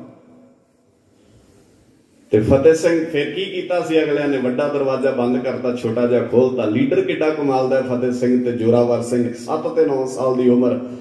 ਤੁਰੇ ਆਉਂਦਿਆਂ ਨੇ ਤੋਤਲੀ ਜ਼ੁਬਾਨ ਨਾਲ ਫਤਿਹ ਸਿੰਘ ਕਹਿੰਦਾ, ਵੀਰ ਜੋਰਾਵਰ ਕਿੱਡੇ ਜ਼ਾਲਮ ਚਲਾਕ ਨੇ। ਵੇਖ, ਵੱਡਾ ਦਰਵਾਜ਼ਾ ਬੰਦ ਕਰ ਦਿੱਤਾ, ਛੋਟਾ ਜਿਹਾ ਖੋਲਿਆ ਇਹ ਸੋਚਦੇ ਨੇ ਇੱਕ ਵਾਰ ਤੇ ਸਿਰ ਝੁਕਾਉਣਗੇ ਹੀ ਨਾ। ਸਿਰ ਝੁਕਾਉਣਗੇ, ਉੱਚੀ ਸਾਰੀ ਕਹਿ ਦੇਾਂਗੇ ਉਹ ਵੇਖੋ, ਬਾਜਾਂ ਵਾਲੇ ਦੇ ਪੁੱਤਾਂ ਦਾ ਸਿਰ ਝੁਕੀ ਤੇ ਅੱਗਿਓ ਵੀਰ ਕਹਿੰਦਾ, ਕੋਈ ਗੱਲ ਨਹੀਂ, ਫਿਕਰ ਨਾ ਕਰ, ਜੇ ਦੁਸ਼ਮਣ ਚਲਾਕ ਹੈ ਨਾ, ਤੇ ਅਸੀਂ ਵੀ ਕਲਗੀਆਂ ਵਾਲੇ ਦੇ ਪੁੱਤਾਂ ਜਦੋਂ ਉਸ ਕਿ ਉਸ ਦਰਵਾਜ਼ੇ ਦੇ ਲਾਗੇ ਗਏ ਨਾ, ਸਿਰ ਝੁਕਾਉਣ ਦੀ ਬਜਾਏ ਪੈਰ ਦੀ ਜੁੱਤੀ ਅੱਗੇ ਕੀਤੀ ਉਹਨਾਂ ਨੇ। ਸਮਝ ਆ ਬਾਦਸ਼ਾਹ, ਤੇਰੀ ਤੇਰੀ ਇੰਨੀ ਕੀ ਔਕਾਤ ਹੈ ਸਾਡੇ ਹਿਸਾਬ ਨਾਲ। ਤੈਨੂੰ ਤਾਂ ਜੁੱਤੀ ਗਾੜੀ ਲਾ ਲਿਆ ਸੀ ਤੇ ਮੈਂ ਕਹਿੰਦਾ ਹੁੰਨਾ, ਸਿੱਖ ਕਿੰਨਾ ਕੁ ਫਤਿਹ ਸਿੰਘ ਨੂੰ ਪਿਆਰ ਕਰਦੇ ਹੋਣੇ ਆ, ਜਿੱਦਣ ਨਵਾਬ ਕਪੂਰ ਸਿੰਘ ਨੂੰ ਦਿੱਲੀ ਦੀ ਸਲਤਨਤ ਖਿੱਲਤ ਦੇਣ ਆਈ ਸੀ ਨਾ ਉਹਨੇ ਕਿਹਾ ਸੀ, ਫਤਿਹ ਸਿੰਘ ਨੇ ਕਿਹਾ ਸੀ, ਜੋੜਿਆਂ ਦੇ ਅੱਗੇ ਰਾਜ ਲੈ ਕੇ ਜਾਵਾਂਗੇ। ਜਾਓ ਇਸ ਰਾਜ ਨੂੰ ਤਿੰਨ ਦਿਨ ਜੋੜਿਆਂ 'ਚ ਰੱਖੋ। ਤਿੰਨ ਦਿਨ ਰਾਜ ਦੀ ਖਿੱਲਤ ਜੋੜਿਆਂ 'ਚ ਪਈ ਰਹੀ। ਇਦਾਂ ਯਾਦ ਕਰਦੇ ਨੇ ਲੋਕ ਆਪਣੇ ਵਡੇਰਿਆਂ ਨੂੰ। ਸੋ ਗੁਰੂ ਕੇ ਪਿਆਰਿਓ, ਜ਼ਰੂਰ ਇਸ ਸਫ਼ਰ ਵਿੱਚ ਸ਼ਾਮਲ ਹੋਇਓ। ਮਹਾਰਾਜ ਸੱਚੇ ਪਾਤਸ਼ਾਹ ਜੀ ਨੂੰ ਦੂਜੇ ਬੰਨੇ ਦਇਆ ਸਿੰਘ ਨੇ ਆਣ ਕੇ ਜਦੋਂ ਜਗਾਇਆ, ਮਹਾਰਾਜ ਕਹਿੰਦੇ, ਕਿਵੇਂ ਨੀਂਦ ਆ ਗਈ? ਦਇਆ ਸਿੰਘ ਕਹਿੰਦਾ, ਕਿਵੇਂ ਨੀਂਦ ਆ ਗਈ? ਮਹਾਰਾਜ ਕਹਿੰਦੇ, ਬੜੀ ਪਿਆਰੀ ਨੀਂਦ ਆਈ। ਤੇ ਦਇਆ ਸਿੰਘ ਦੀਆਂ ਅੱਖਾਂ 'ਚ ਹੰਝੂ ਵਹਿ ਤੁਰੇ ਕਹਿੰਦੇ, ਕਲਗੀਆਂ ਵਾਲਿਆ, ਤੇਰੇ ਵਰਗਾ ਗੁਰੂ ਕਿਤੇ ਲੱਭ ਜਾਣਾ ਕਿੱਥੋਂ ਲੱਭਾਂਗੇ ਤੇਰੇ ਵਰਗਾ ਬਾਪੂ? ਤੇਰੇ ਵਰਗਾ ਗੁਰੂ? ਤੇ ਗਲਵਕੜੀ 'ਚ ਘੁੱਟ ਕੇ ਕਲਗੀਆਂ ਵਾਲੇ ਨੇ ਦਇਆ ਸਿੰਘ ਨੂੰ ਕਿਹਾ, ਜੇ ਮੇਰੇ ਵਰਗਾ ਨਹੀਂ ਲੱਭਣਾ, ਤੇ ਤੇਰੇ ਵਰਗੇ ਸਿੱਖ ਕਿਹੜੇ ਦਇਆ ਸਿਆ ਲੱਭ ਜਾਣੇ ਨੇ? ਜੇ ਮੈਂ ਪਿਆਰ ਕਰਦਾ, ਤਾਂ ਤੁਸੀਂ ਕਿਹੜੀ ਕਸਰ ਛੱਡੀ ਹੈ? ਜਿਸ ਦਿਨ ਦੇ ਤੁਸੀਂ ਮੇਰੇ ਕੋਲ ਆ ਗਏ ਹੋ, ਤਨਖਾਹ ਤਾਂ ਨਹੀਂ ਦਿੰਦਾ ਮੈਂ ਤੁਹਾਨੂੰ ਕੋਈ। ਪਰ ਨਾਲ ਹੋ ਨਾ ਹਰ ਮੁਸ਼ਕਲ ਦੇ ਘੜੀ 'ਚ ਨਾਲ ਹੋ। ਮੇਰੇ ਪੁੱਤਾਂ ਨਾਲੋਂ ਅੱਗੇ ਵੱਧ-ਵੱਧ ਕੇ ਸ਼ਹਾਦਤ ਦਾ ਜਾਮ ਤੁਸੀਂ ਪੀਤਾ ਹੈ। ਜੇ ਮੈਂ ਪਿਆਰ ਕੀਤਾ ਤੇ ਕਸਰ ਤੁਸੀਂ ਵੀ ਨਹੀਂ ਛੱਡੀ। ਸੋ ਗੁਰੂ ਕੇ ਪਿਆਰ ਵਾਲਿਓ, ਆਓ ਕੋਸ਼ਿਸ਼ ਕਰੀਏ ਅਸੀਂ ਗੁਰੂ ਦੇ ਪਿਆਰ ਵਿੱਚ ਭਿੱਜੀਏ ਇਸ ਸਫ਼ਰ ਦਾ ਹਿੱਸਾ ਬਣੋ। ਨਾਲ ਨਾਲ ਰਹੀਏ ਤੇ ਇੱਕ ਬੇਨਤੀ ਜ਼ਰੂਰ ਕਰਾਂਗਾ। ਇਹ ਘੱਟੋ ਘੱਟ 31 ਦਸੰਬਰ ਤੱਕ ਤੇ ਯਾਦ ਰੱਖ ਲਿਓ। ਅੱਜ ਤੋਂ 3 ਸਾਲ ਪਹਿਲਾਂ 27 28 ਦਸੰਬਰ ਤੱਕ ਸਾਰਾ ਪੰਜਾਬ ਰੋ ਰਿਹਾ ਸੀ ਤੇ 31 ਦਸੰਬਰ ਨੂੰ ਸਭ ਤੋਂ ਵੱਧ ਸ਼ਰਾਬ ਪੰਜਾਬ ਦੇ ਠੇਕਿਆਂ 'ਚੋਂ ਪੰਜਾਬੀਆਂ ਨੇ ਮੁਕਾਈ ਸੀ। ਤੇ ਘੱਟੋ ਘੱਟ 31 ਦਸੰਬਰ ਤੱਕ ਯਾਦ ਜ਼ਰੂਰ ਰੱਖ ਲਿਓ, ਅੱਗੇ ਤੁਹਾਡੀ ਮਰਜ਼ੀ ਹੈ। 31 ਦਸੰਬਰ ਤੱਕ ਤੇ ਯਾਦ ਰੱਖਿਓ ਕਿ ਸਾਡੇ ਲਈ ਕੋਈ ਸਰਬੰਸ ਵਾਰ ਕੇ ਗਿਆ ਸਾਰਿਆਂ ਦਾ ਧੰਨਵਾਦ, ਸ਼ੁਕਰਾਨਾ ਅਕਾਲ ਪੁਰਖ ਵਾਹਿਗੁਰੂ ਜੀ ਦਾ। ਭੁੱਲਾਂ ਮੇਰੀਆਂ ਸਮਝ ਕੇ ਮਾਫ ਕਰ ਦਿਓ।